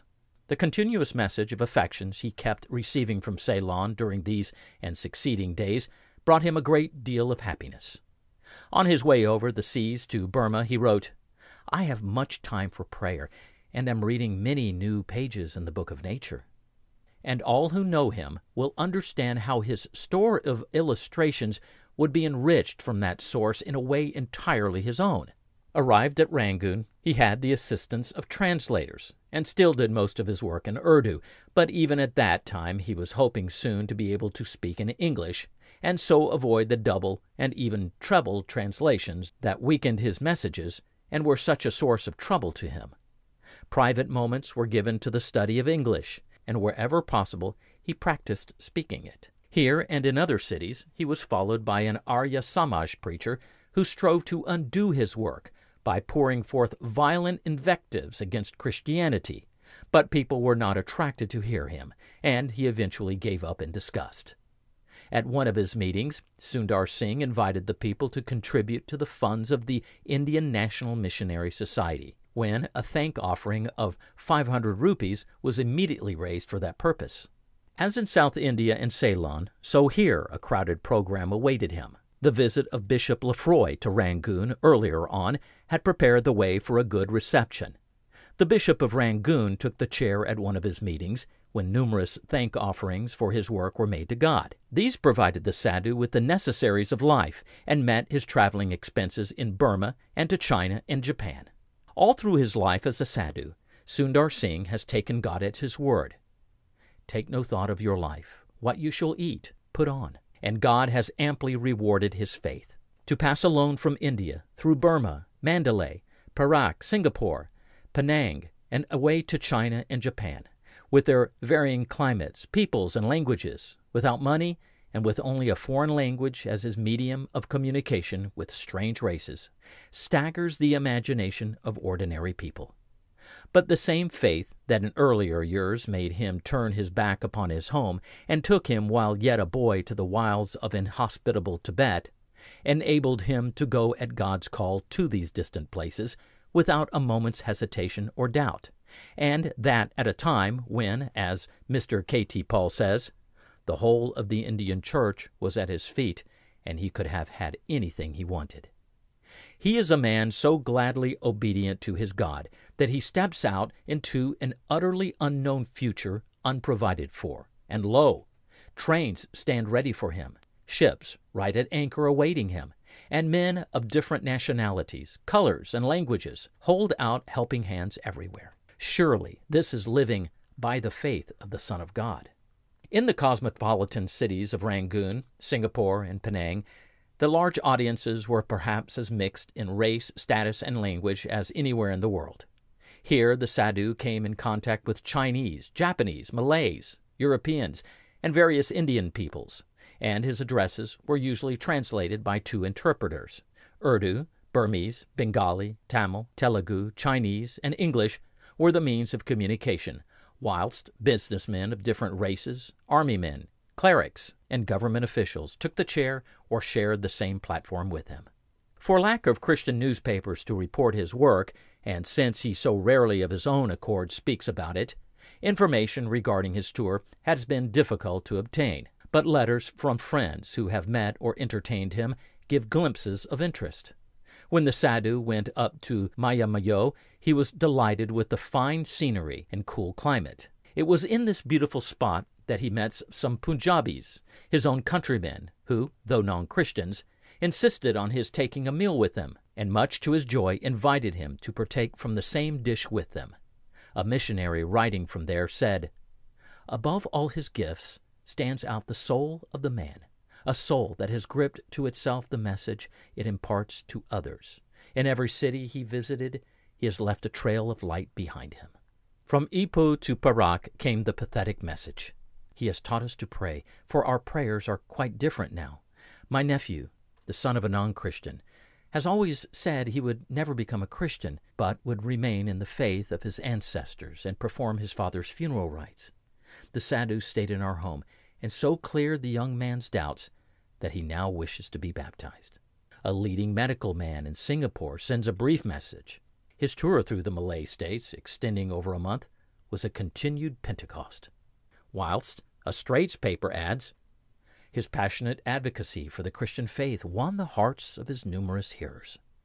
At Bassein, he was very happy to find that some leading Hindus and Mohammedans were taking an active part in arranging for the meetings and in Penang, another unexpected happiness awaited him. He spoke in the Empire Theater, the address being summarized in Tamil, Malay, and Chinese. A greeting for Sikhs and Hindustani was held in St. George's Chapel when he preached to a full house. At the close of the meeting, a Sikh gentleman arose and invited the sadhu to go and speak in the Sikh temple. At Penang, also the chief of the police took the chair at one of his meetings and gave a half holiday to the police staff in order to give them the opportunity of attending. It was little wonder that fear was expressed in certain quarters that so much success might wean him from the simple sadhu life. But no one was more alive to the insidious temptations of the moment than the sadhu himself, and his constant prayer was that he might be kept humble and faithful to the end. His own impressions he writes as follows The Burmese are of the Mongolian type and are Buddhists, and for this reason they have no true idea of God. It is difficult to make them understand, for in their language they seem to have no word that rightly expresses our idea of God. But they are a simple people, and their temples are all open to visitors. They are not bigoted as are Hindus and Mohammedans, but the Hindus here not only attend meetings themselves, but bring their wives with them. Then he adds, I do not see as others seem to see what a great work is going on among the people. The beginning of 1919 marks a great event in the sadhu's career, for not only did he make his long journey to China and Japan, but on January 2nd he found himself in Singapore amidst a people whose common language was English, and there was no one who could translate from Hindustani for him. Immediately he resolved to use English, and from that day his work was almost entirely done in that language. Only a few months before, some important engagements in South India had been dropped for lack of an interpreter, so that it is not surprising that those who were praying that his work in these distant lands might be effective felt that their prayers were answered when they heard that the sadhu was fearlessly speaking in English. From Singapore, he went to China, where he stayed a short time. Bishop Maloney gave him a note of introduction to a Japanese bishop, and after a few meetings he left China, with the promise to spend a little time on his way back, and took ship to Japan.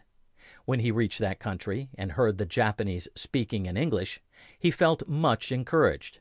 Thus the great barrier of language, which had so often hampered and distressed him, is broken down, and he thanks God, who has enabled him to witness to the ends of the earth in this wonderful way. Chapter 29 Called, Chosen, Faithful. They that are with him are called, chosen, faithful. Revelations 16, verse 14.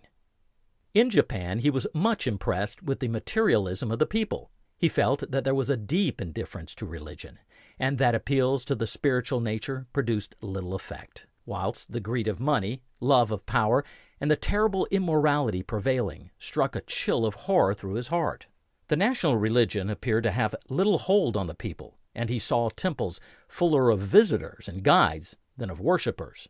The rush and hurry of life distressed him.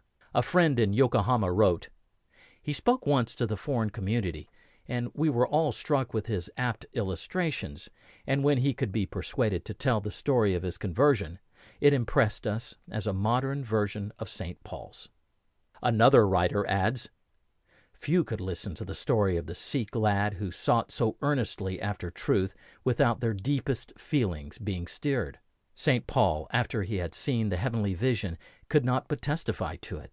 Now I not only know about Christ, I have seen him, says the sadhu of the 20th century, and as he tells the story, you feel with him the surprise he felt when suddenly Christ, with wounded hands, stood before him.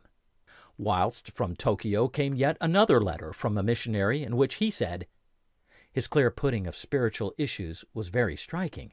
His word had a spiritual authority behind it. He was our guest here, and afterwards joint guest with us in Peking.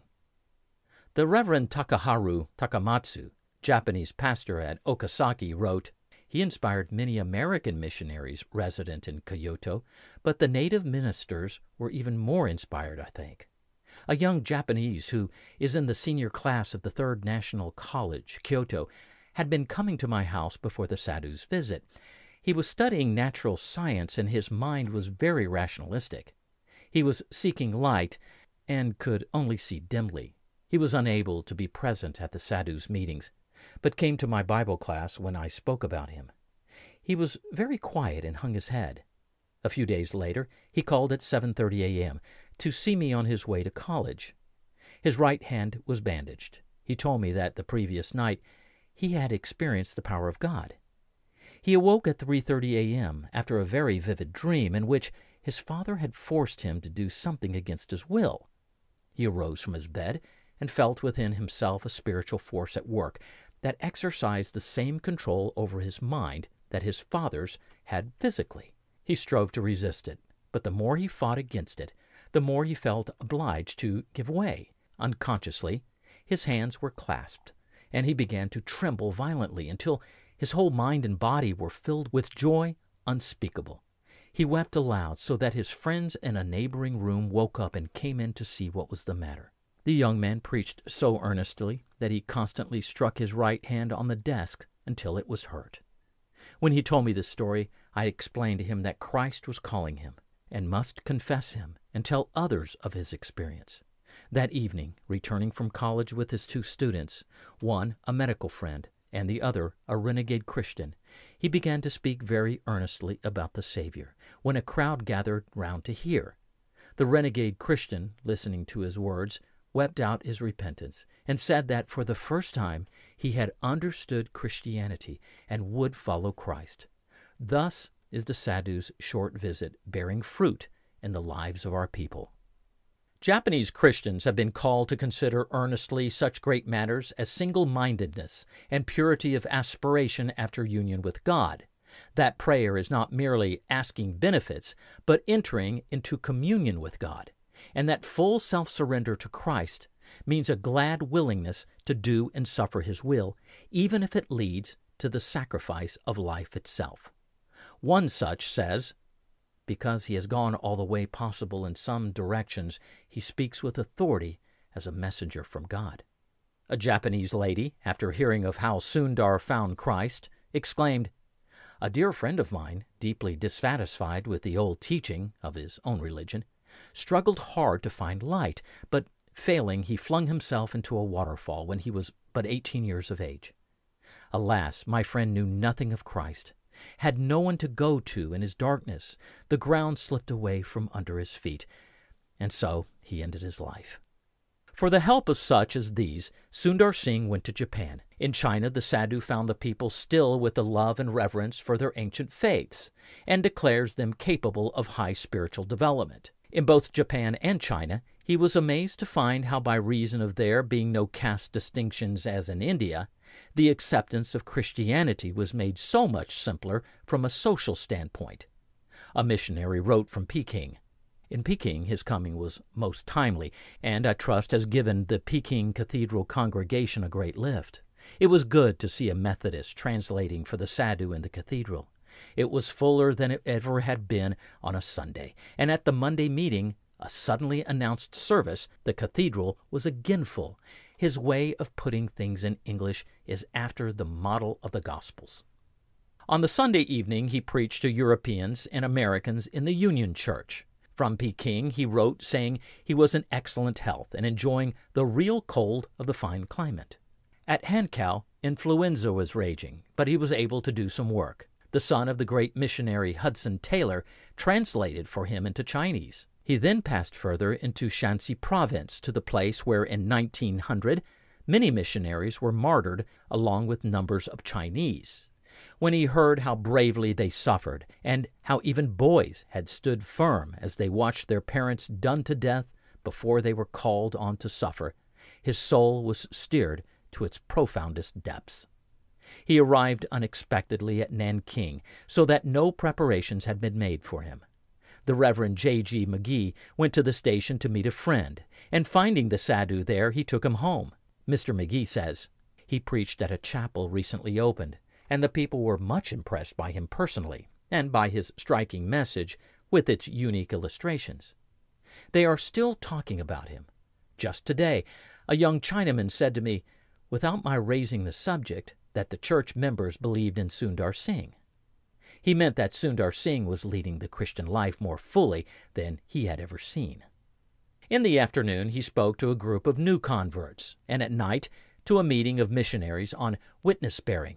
You would not need to be told of the effect of his words on such a subject to such an audience, the writer adds.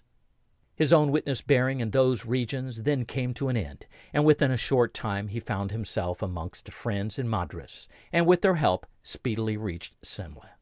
From there he went on to Sabathu, when he once more occupied the room where fourteen years earlier, after much prayer, he had put on the sadhu garb and made his solemn vow to follow Christ wherever he led.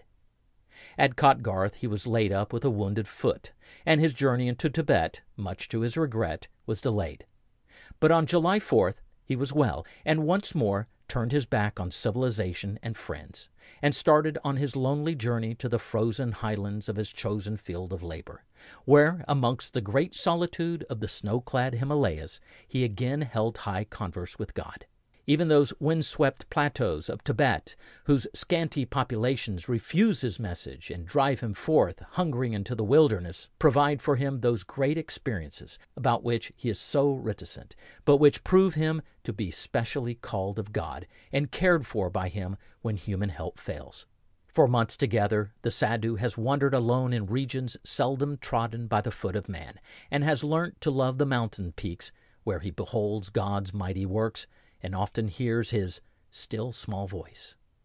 Amidst such scenes, Sundar Singh has not only seen visions, but has gathered power for his ministry among the multitudes of the plains. And while his sensitive soul turns with longing to the wider spaces where he can be alone with God, he has walked through countless temptations and still retains, through them, all the unspoilt sweetness and simplicity of his lonely life of hardship for Christ has given him. Chapter 30 Christ sent me to preach the gospel. 1 Corinthians 1:17. I have fully preached the gospel of Christ. Yet so have I strived to preach the gospel where Christ was not named, as it is written, To whom he was not spoken of, they shall see, and they that have not heard shall understand. Romans 15:19 through 21. It is an acknowledged fact that some sermons are more powerful in print than when delivered. The reverse, however, is even more true, for many really great sermons with far reaching results would make but a poor show on paper. The desire has been expressed in several quarters for the sermons of Sadhu Sundar Singh to appear in book form, and a Tamil edition of such a book has been published. But those who know him best and the true value of his work feel doubtful as to whether such a book can possibly do him justice. Sadhu Sundar Singh is a good preacher he loses no time in figures of speech, wastes no words on fine phrases. He is direct, clear, concise. Needless to say, he is in dead earnest, and leaves no single hearer in doubt as to the object he has in view. No hesitation in delivery or haziness of expression mars the effect of what he has to say. He never appears without a message straight from God, and his clear voice carries that message to the remotest limits of his audience, however large that audience may be. A tense silence and strained attention witness to the power with which he speaks. His calm and yet humble dignity of manner, as he stands with his small Urdu Testament in his clasped hands, is strangely at variance with his impassioned language and vigor of delivery.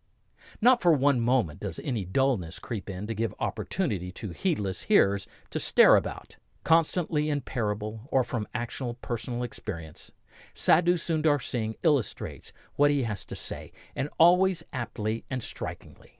In lecturing to non Christians, he contends that religion is not a matter of argument, but of experience, and proves very conclusively before he has done that this is so. However mixed his audience may be, none can go away without the deep impression of having heard the truth. Lovers of Jesus Christ are fortified in their faith. The careless are brought suddenly to a standstill and made to reconsider their position. Thoughtful non Christians are brought face to face with the question whether Christ has any claim on them, and as a result, many have been brought to the feet of the Savior. The real significance of the preaching of the Sadhu lies in his triumphant reaffirmation of the eternal things of spiritual life. The charm of the message has brought new life to many Christians who before his coming had scarcely felt the vital power of Christ in their own lives, and to whom religion was more or less a lifeless thing. For many of these, the first flush of zeal and devotion for Christ had passed away, and the pressure of the world had blurred the heavenly vision. But Sadhu Sundar Singh, coming fresh from the continual communion he holds with his Lord, stands amongst men in his sadhu's robes, filled with a message so persuasive, so insistent, so attractive, that once again is felt the power and the sweetness of a Savior well nigh forgotten. He draws his life from God's unfailing springs of joy, and communicates something of that joy to those who see and hear him until they too are fired with desire to drink at the same fountain and share the same bliss. His message to Christians is strong and impressive. It is urgent and compelling, pointing to higher and nobler ideals of living, which his hearers must heed or be left worse off than before he came. In preaching to non Christians, he never attacks the religion or uses unbrotherly terms of reproach but he fearlessly testifies to his own failure after long and painful search to find peace, joy, and satisfaction apart from God's great revelation in Jesus Christ. Neither argument nor philosophy, but the inspiration which comes from the simple yet powerful testimony to the power of God to redeem from sin in his method of drawing non Christians to the feet of Christ. The Sadhu goes back to foundation things God's love. Christ's witness in life and death to that love, the unfailing power of that love to save all who accept it, and supremely Christ and his cross are his theme. He speaks of one he intimately knows, one whose power he has never ceased to experience from the hour when that one appeared to him as a boy, one who is his companion day and night, and for whom he has given up everything that life can offer his hearers are conscious that before them stands a man who is living Christ as well as preaching him. Sadhu Sundar Singh's own personality carries weight with his message. At one of his early meetings in the South, when his address was over, he sat down before the translation was completed and it then became most difficult for the good translator to keep the attention of the audience to the end. At later meetings, he remained standing until the translation was finished, when not an eye was turned away for a moment.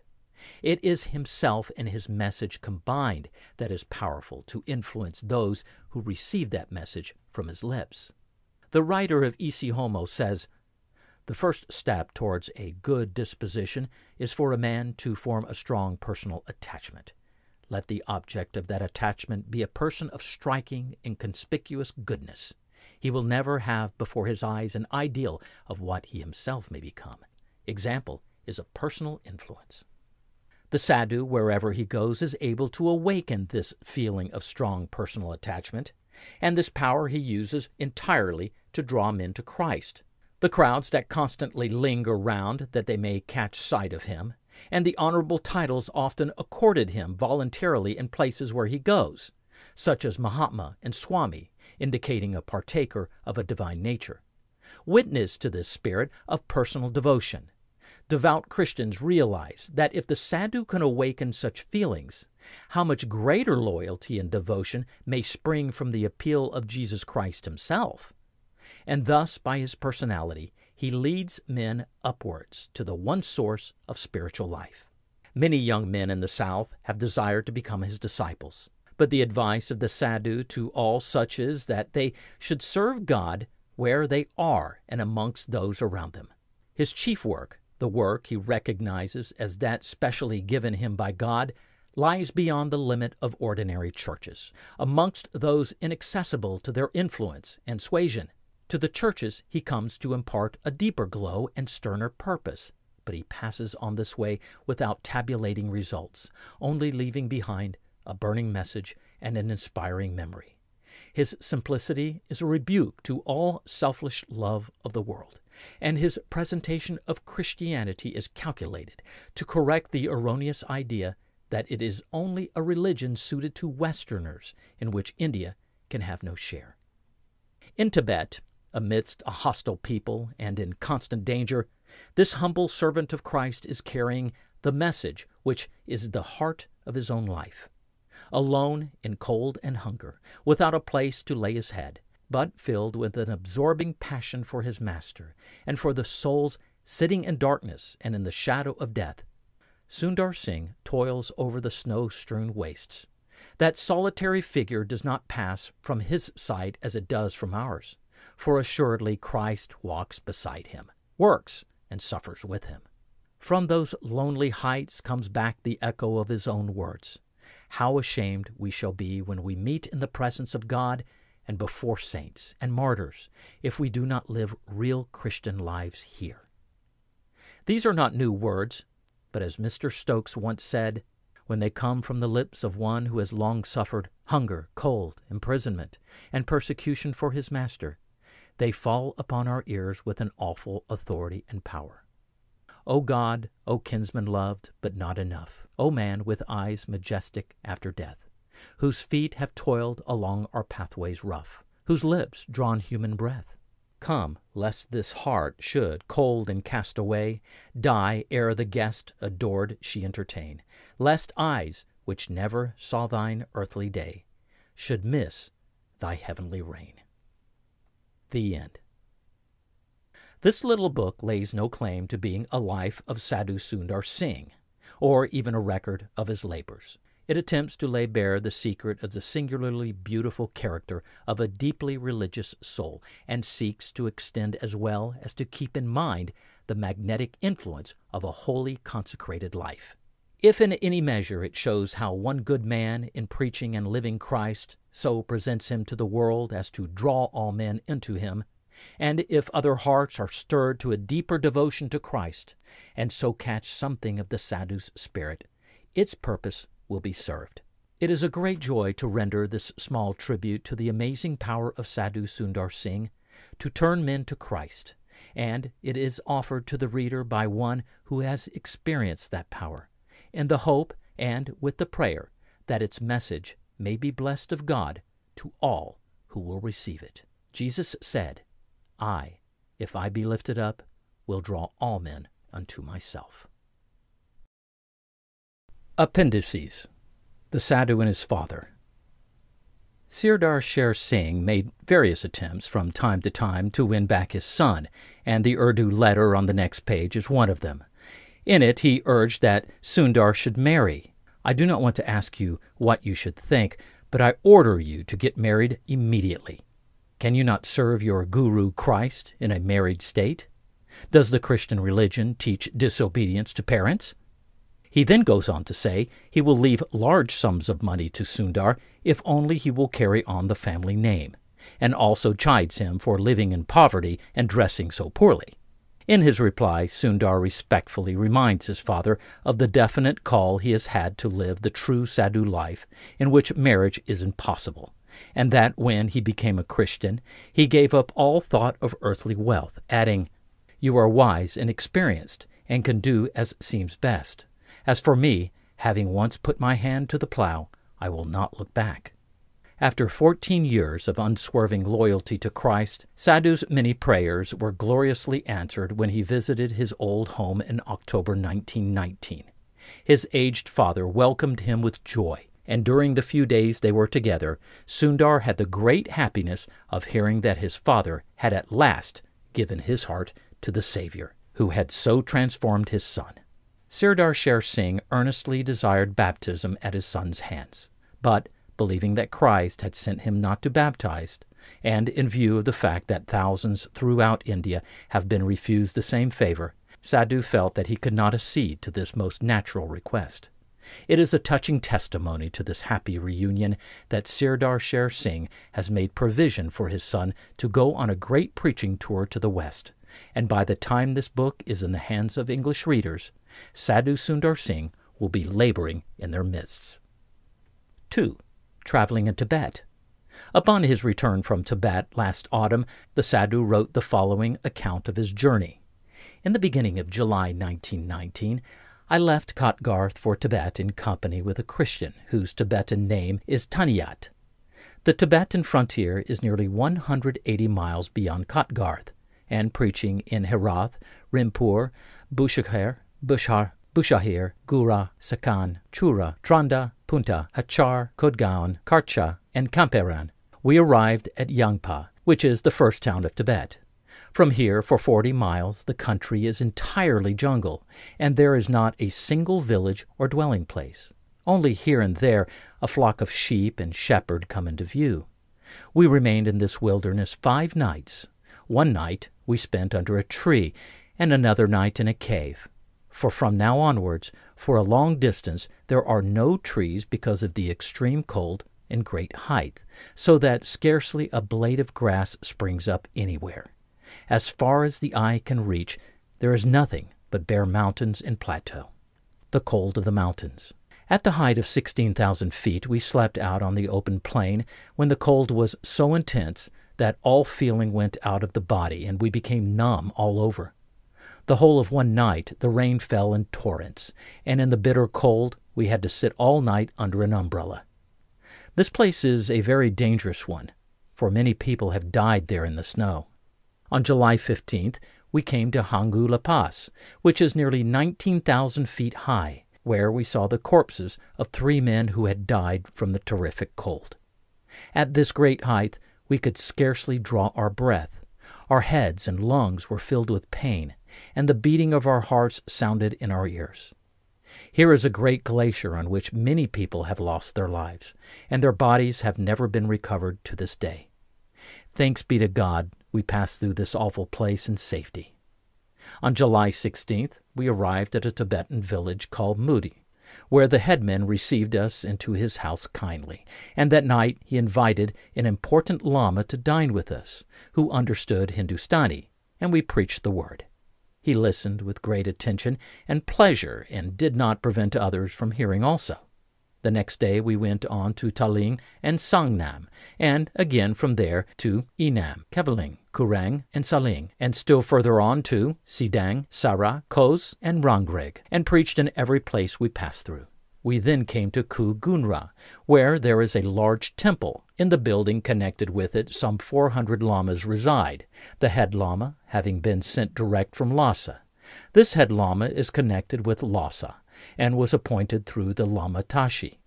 With him we remained two days, and he gave us little trouble, although he was very keen on discussing religion with us.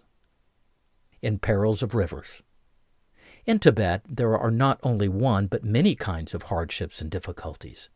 There are no roads, and although there are many streams and rivers, there are no bridges to cross them, and the water is always as cold as ice. Wherever the water was shallow enough, we were able to swim across, but sometimes the current was so strong and the river bed so full of rocks that swimming was impossible. One day, in swimming across the river Morang, I reached the other bank with great difficulty, for the water was so intensely cold that my whole body became stiff and numb. At Thanyat I fell and went under the water three times, and with great straining and difficulty I got out of that river, a river in which many men have sunk never to rise again. Food is another difficult problem in Tibet. There is nothing to eat and drink in most places except kampa and suetu, fried barley flour and a kind of tea which is mixed with salt and butter. Again and again the fried barley was so bad that even horses and asses would not eat it. In all these difficulties, there was this great comfort that this was the cross of Christ and was necessary for the salvation of souls. For me, Christ forsook heaven and took upon himself the burden of the cross, so that if I have left India to come into Tibet on his behalf to claim souls for him, it is not a great thing to do. But if I do not come, it would have been a dreadful thing, for this is a divine command. The sin of washing clothes. Tibetan houses are very small and exceedingly dirty. They are built of stones and mud, and the smell of the people is unbearable. In the village of Lara, I saw a man who was quite black with dirt, and I think he could not have had a bath for fifteen years at least. The people's clothes, although made of white wool, from filth look as if they were made of black leather, because they never wash their clothes. In the village of Khiwar, we washed our clothes in a stream, and everybody came to see. They were struck with amazement that we should be doing such a thing. An important Lama said, It is all right for sinful men to wash their clothes, but for good people to do so is very bad. Although there has been much difficulty in this journey, yet it has been less than at other times.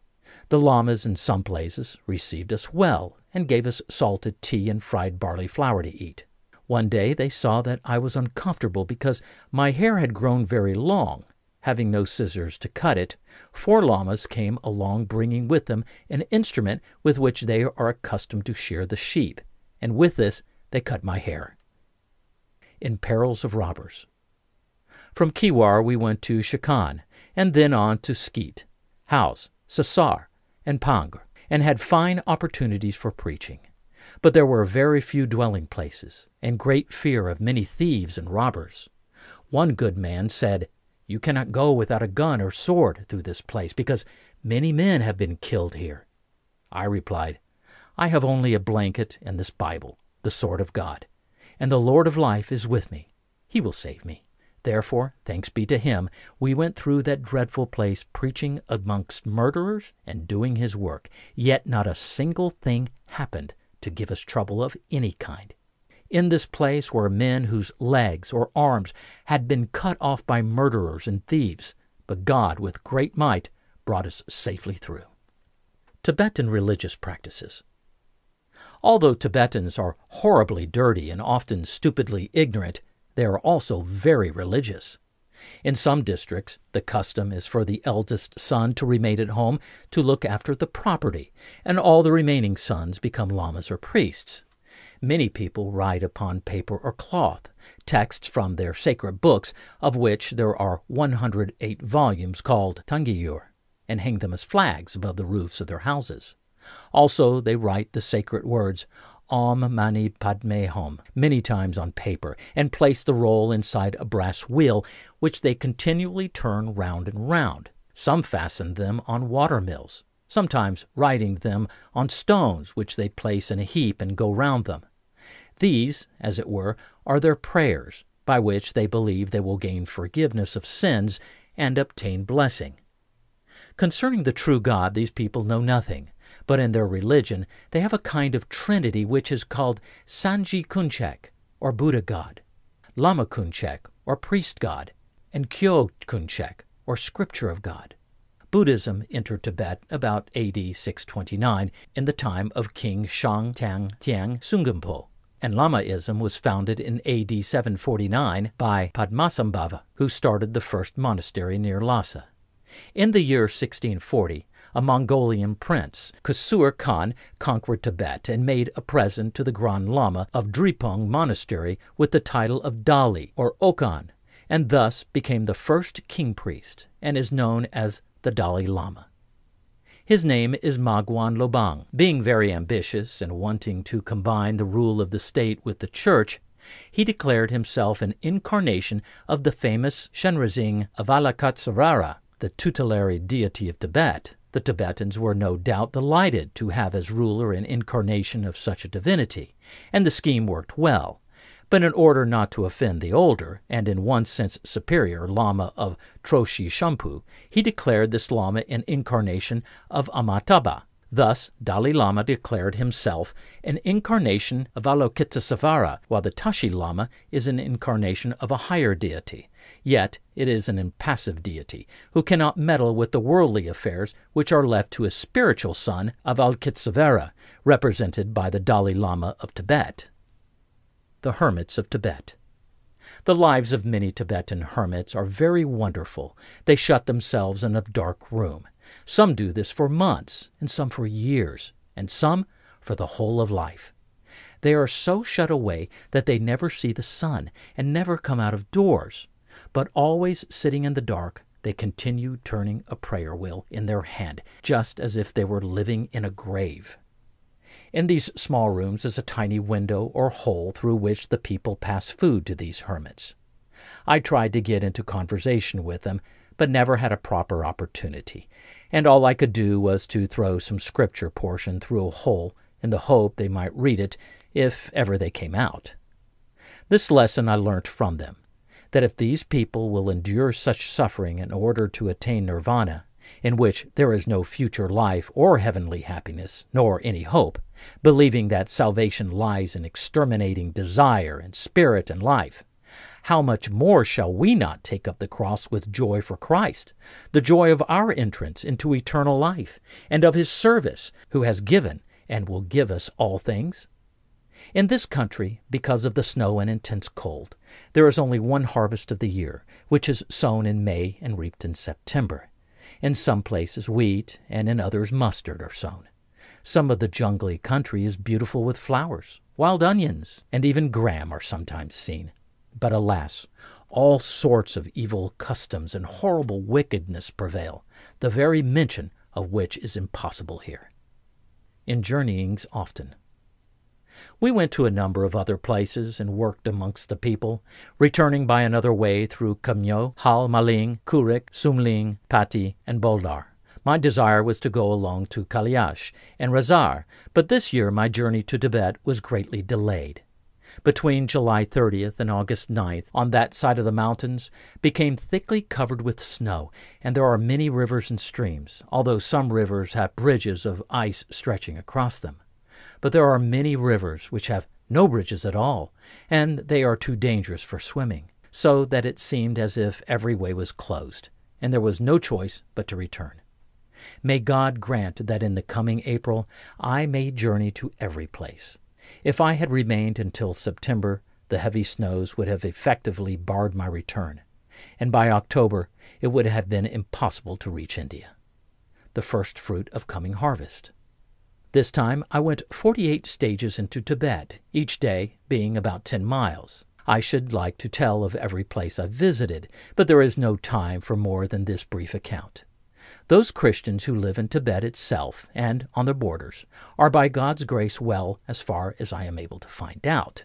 There is a boy in Tersring who knows Hindustani well and was very desirous of returning to India with me, but his mother prevented him. I trust another year he will come with me, and having received further training, may become a good preacher amongst his own people in Tibet, so that the seed of God's Word, which has been sown on this journey by His grace, may spring up and, in His own time, bear much fruit. Amen. Sundar Singh. 3. Tibet in the Great War. Whilst the first edition of this book was going through the press, English papers published the following Tibet, the most solitary of the hermit nations, has come forward with an offer of a 100,000 men to help fight the battles of democracy on the European front. Our awed imaginations have lingered over the impossible terrors of the road to Lhasa, forbidden on pain of death to outsiders. The barred doors swing wide on rusty hinges, and the Grand Lama, most secluded of the world's monarchs, steps into the fast running currents of 20th century history as the friend and defender of democracy. The natural prayer of the Christian is that this closed land may now open its doors to the gospel, and that Sadhu Sundar Singh may see of the travail of his soul in bringing Tibet to the feet of Christ. 4. The Sikhs. The Sikh state lies in the Punjab, roughly speaking between the rivers Ganges and Indus, and are bounded on the north by the mountainous region that separates them from Tibet and the Chinese Empire. The two capitals are Amritsar and Lahore. Nanak was the first of the gurus or teachers of the Sikhs. He was born in Raipur in 1469. From childhood he was inclined to devotion and indifferent to worldly concerns. His father sought to divert his mind from religious things, and on one occasion sent him to transact some business for him, which was to result in financial profit. On the way, Nanak met some hungry fakirs, and divided his father's money between them, observing, The gain of this world is transient. I wish to relieve these poor men, and thus obtain that gain which is eternal. After partaking of food, the fakirs entered into a long discourse upon the unity of God, with which Nanak was greatly delighted. Returning to his home, his father asked what profit he had brought, and receiving the reply that he had fed the poor, his father abused and even struck him. Raya Balar, the ruler of the district, hearing of this, interdicted Nanak's father from ever again treating him in this way, and he himself humbly bowed in veneration before Nanak. Nanak then, adopting the saffron robe, began to practice the austerities of a holy man, and soon became celebrated for his goodness of life and character. He traveled to many Hindu holy places, and even to Mecca itself, in order to purify the worship of both Hindus and Mohammedans. Wherever he journeyed, he preached the doctrine of the unity and omnipresence of God.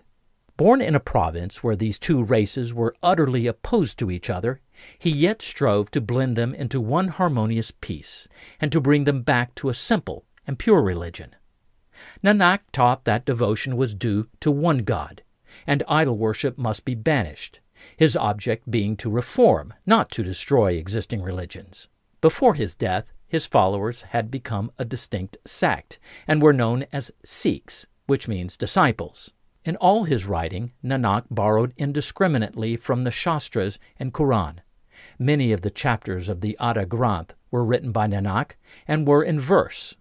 Nanak desired to abolish all caste distinctions and place all men on an equality. He also declared that the most acceptable offerings to God are morning praise and the presentation of the body to Him. After the death of Nanak, other leaders followed to the number of ten the two most famous of these being Arjun and Govind Singh. A bitter persecution of the new sect by Mohammedans converted a harmless religious people into a great military commonwealth, determined to avenge the sufferings they had endured. The martyrdom of their pontiff Arjun turned a hitherto inoffensive sect into a band of fanatical warriors. Har Govind, one of their leaders at the time, gave to all his followers the honorable name of Singh, lion, and the order that no Singh should allow his hair to be cut was issued at the same time. Govind Singh, the tenth and last of the great Sikh leaders or pontiffs, wrote a large part of the tenth book of the Granth, and held a place in the esteem of his followers at least equal to Nanak himself. Under Govind Singh, the Sikhs assumed the character and rank of a military nation. Before his death, he made the promise that whenever five Sikhs should meet together, he would be present amongst them. The temples of the Sikhs are generally plain buildings with a flat roof and sufficiently large to hold a number of worshippers who stand during service. The forms of prayer and praise are simple. Portions of the Granth are read or sung, and the priest exhorts the people to meditate on the book. Daily worship is performed by pious Sikhs, and portions of their scriptures are read. Sikhs believe they are placed by their last and most revered pontiff Govind under the peculiar care of God. 5. Some of the Sadhu's illustrations. The Sadhu's addresses go to the root of fundamental things such as repentance, faith, sacrifice. Almost every point is illustrated by some parable from nature or some actual experience. The following are examples Humility. A poor Indian of the sweeper caste became a Christian, and a high caste man who knew him was much struck by the great change in him. You used to come and sweep my house. You had no education, and yet I cannot help honoring you. What has changed you? The sweeper tried to explain the new life that had come to him, but still the high caste man did not understand. Especially he wondered at one thing. You are so good, and yet you are not proud. Why should I be proud? asked the sweeper. When Christ rode an ass into Jerusalem, people brought clothes and laid them upon the road. Yet the feet of our Lord did not tread on them, only the ass walked over them. Who ever heard of such honor being done to the feet of an ass? It was only because the ass carried Christ. When he had done riding the ass, the beast was of no account. So I am of no account. Only I am as it were bearing Christ, and it is him you honor. If he left me, I should be nothing at all. Union with and life in God. From our own experience, we do become united with God, yet we do not become God. If a piece of cold iron is placed in a hot fire, it will glow because the fire is in it. Yet we cannot say that the iron is fire or that the fire is iron. So in Jesus Christ we retain our identity, He in us and we in Him, but with our own individuality. Again, we breathe air, yet man is not air, nor is the air man. So we breathe by prayer the Holy Spirit of God, but we are not God. Some time ago I saw two villages in the Himalayas that were separated by an, an impassable mountain. The direct distance between the two was not great, but the journey round took travelers a week to accomplish. A man in one of the villages determined to make a tunnel through this mountain, declaring he would give his life to do it if necessary. He started on the work, and in the attempt he did actually lose his life. When I heard of it, I thought this mountain was like the wall of our sin, keeping us away from God. Jesus Christ came and made a living way by giving his life. He gave his life of his own will, and the way is open to all who unreservedly accept him as their Savior. The better part. Once, when I was crossing the mountains, I met a girl. She was of good family and was on pilgrimage, and her bare feet were bleeding. In answer to my question, she said, I am looking for rest and peace, and I hope to get them before I get to the end of this pilgrimage. If I do not, I shall drown myself. I saw she was earnest. I thought how strange it is that people who are born Christians and have these great gifts without taking all this trouble should care so little for them, while this wealthy girl who has given up her home and all she cared most for to seek salvation. She did not find peace on that pilgrimage, but she met a missionary who told her about Christ. I saw her afterwards, and she told me that she had found all and more than she had sought, adding, Men may kill me if they like. I have found that better part that shall never be taken away from me. Ye are the light of the world. The wick of a lamp must burn and lose itself in order that the light may shine. The wick is between the oil and the flame. There may be plenty of oil, but if there be no wick, there can be no light. So, to give light to others, we must be ready to sacrifice ourselves. Ye are the salt of the earth. If salt is to be of use, it must be dissolved. So long as it remains in a dry lump, it cannot give flavor to our food. But when it is dissolved, every grain of rice has its proper taste, and the food is good. So with individual Christians, they must always be giving of themselves. They may seem to disappear and be lost, but that is not actually the case. They live in the lives of those of whom they have given themselves, and their influence remains. Safe in Christ. We are small. The attraction of the earth is great. But powerful as is the force of the earth, when we grasp anything in our hand, the attraction of the earth cannot draw it away. So when we are in the hand of Christ, earthly things can have no power over us, for in his keeping we are safe. God in Christ. Hindus are very fond of saying that God is in everything. I once came to a river which I had to cross. There was no boat to carry me over, and I stood wondering how it could be managed. Then a man called my attention to a deflated water skin and said that was the only way to get across. So we inflated it with air, and I crossed over in safety. Then the thought came to me that there was plenty of air all around me, but it was incapable of helping me in my difficulty until it was confined in the narrow space of the water skin. So it is as unreasonable to deny the necessity of the incarnation of Christ as to declare that the air filled leather boat was of no use to help in crossing that river. Our helplessness. The little chicken in its shell lives in a very circumscribed and narrow world view of its own.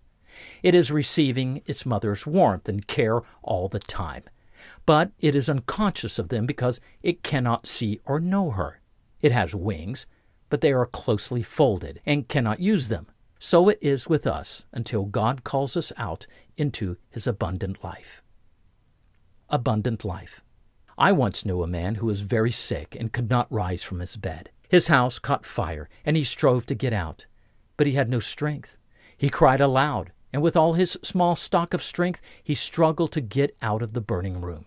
He had life, but it was not enough to save him and so he was burnt to death. Another man came by before the fire was over, and he was able to put it out, because he had abounding strength, but he was too late to save the sick man.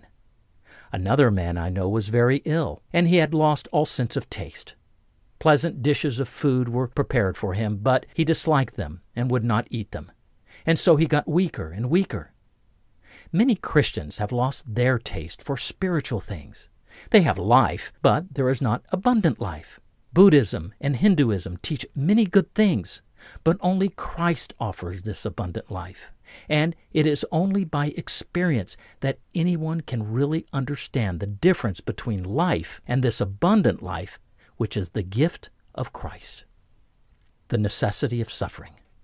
A silkworm was struggling out of the cocoon, and an ignorant man saw it battling as if in pain. So he went and helped it to get free, but very soon after it fluttered and died.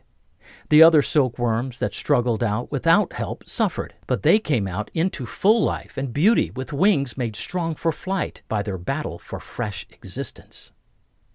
The water of life. Some time ago, a party of men were traveling in Tibet. One of them became very thirsty, but there was no water. As they went on, they saw some pools surrounded by marshy ground, where the thirsty man determined to quench his thirst. Those who knew the nature of the country begged him to wait until they should reach a safe place. But he would not listen, and said he would take care. He plunged ahead towards a pool, and filling his hands began to drink. He called to his friends to tell them that he had got his heart's desire, and even as he spoke he began to sink in the morass. Soon he was half buried, and no one could venture nearer to draw him out, and his companions looked helplessly on as he sank, and at length he disappeared, miserably perishing, as so many do who drink the water of a sinful life. The end.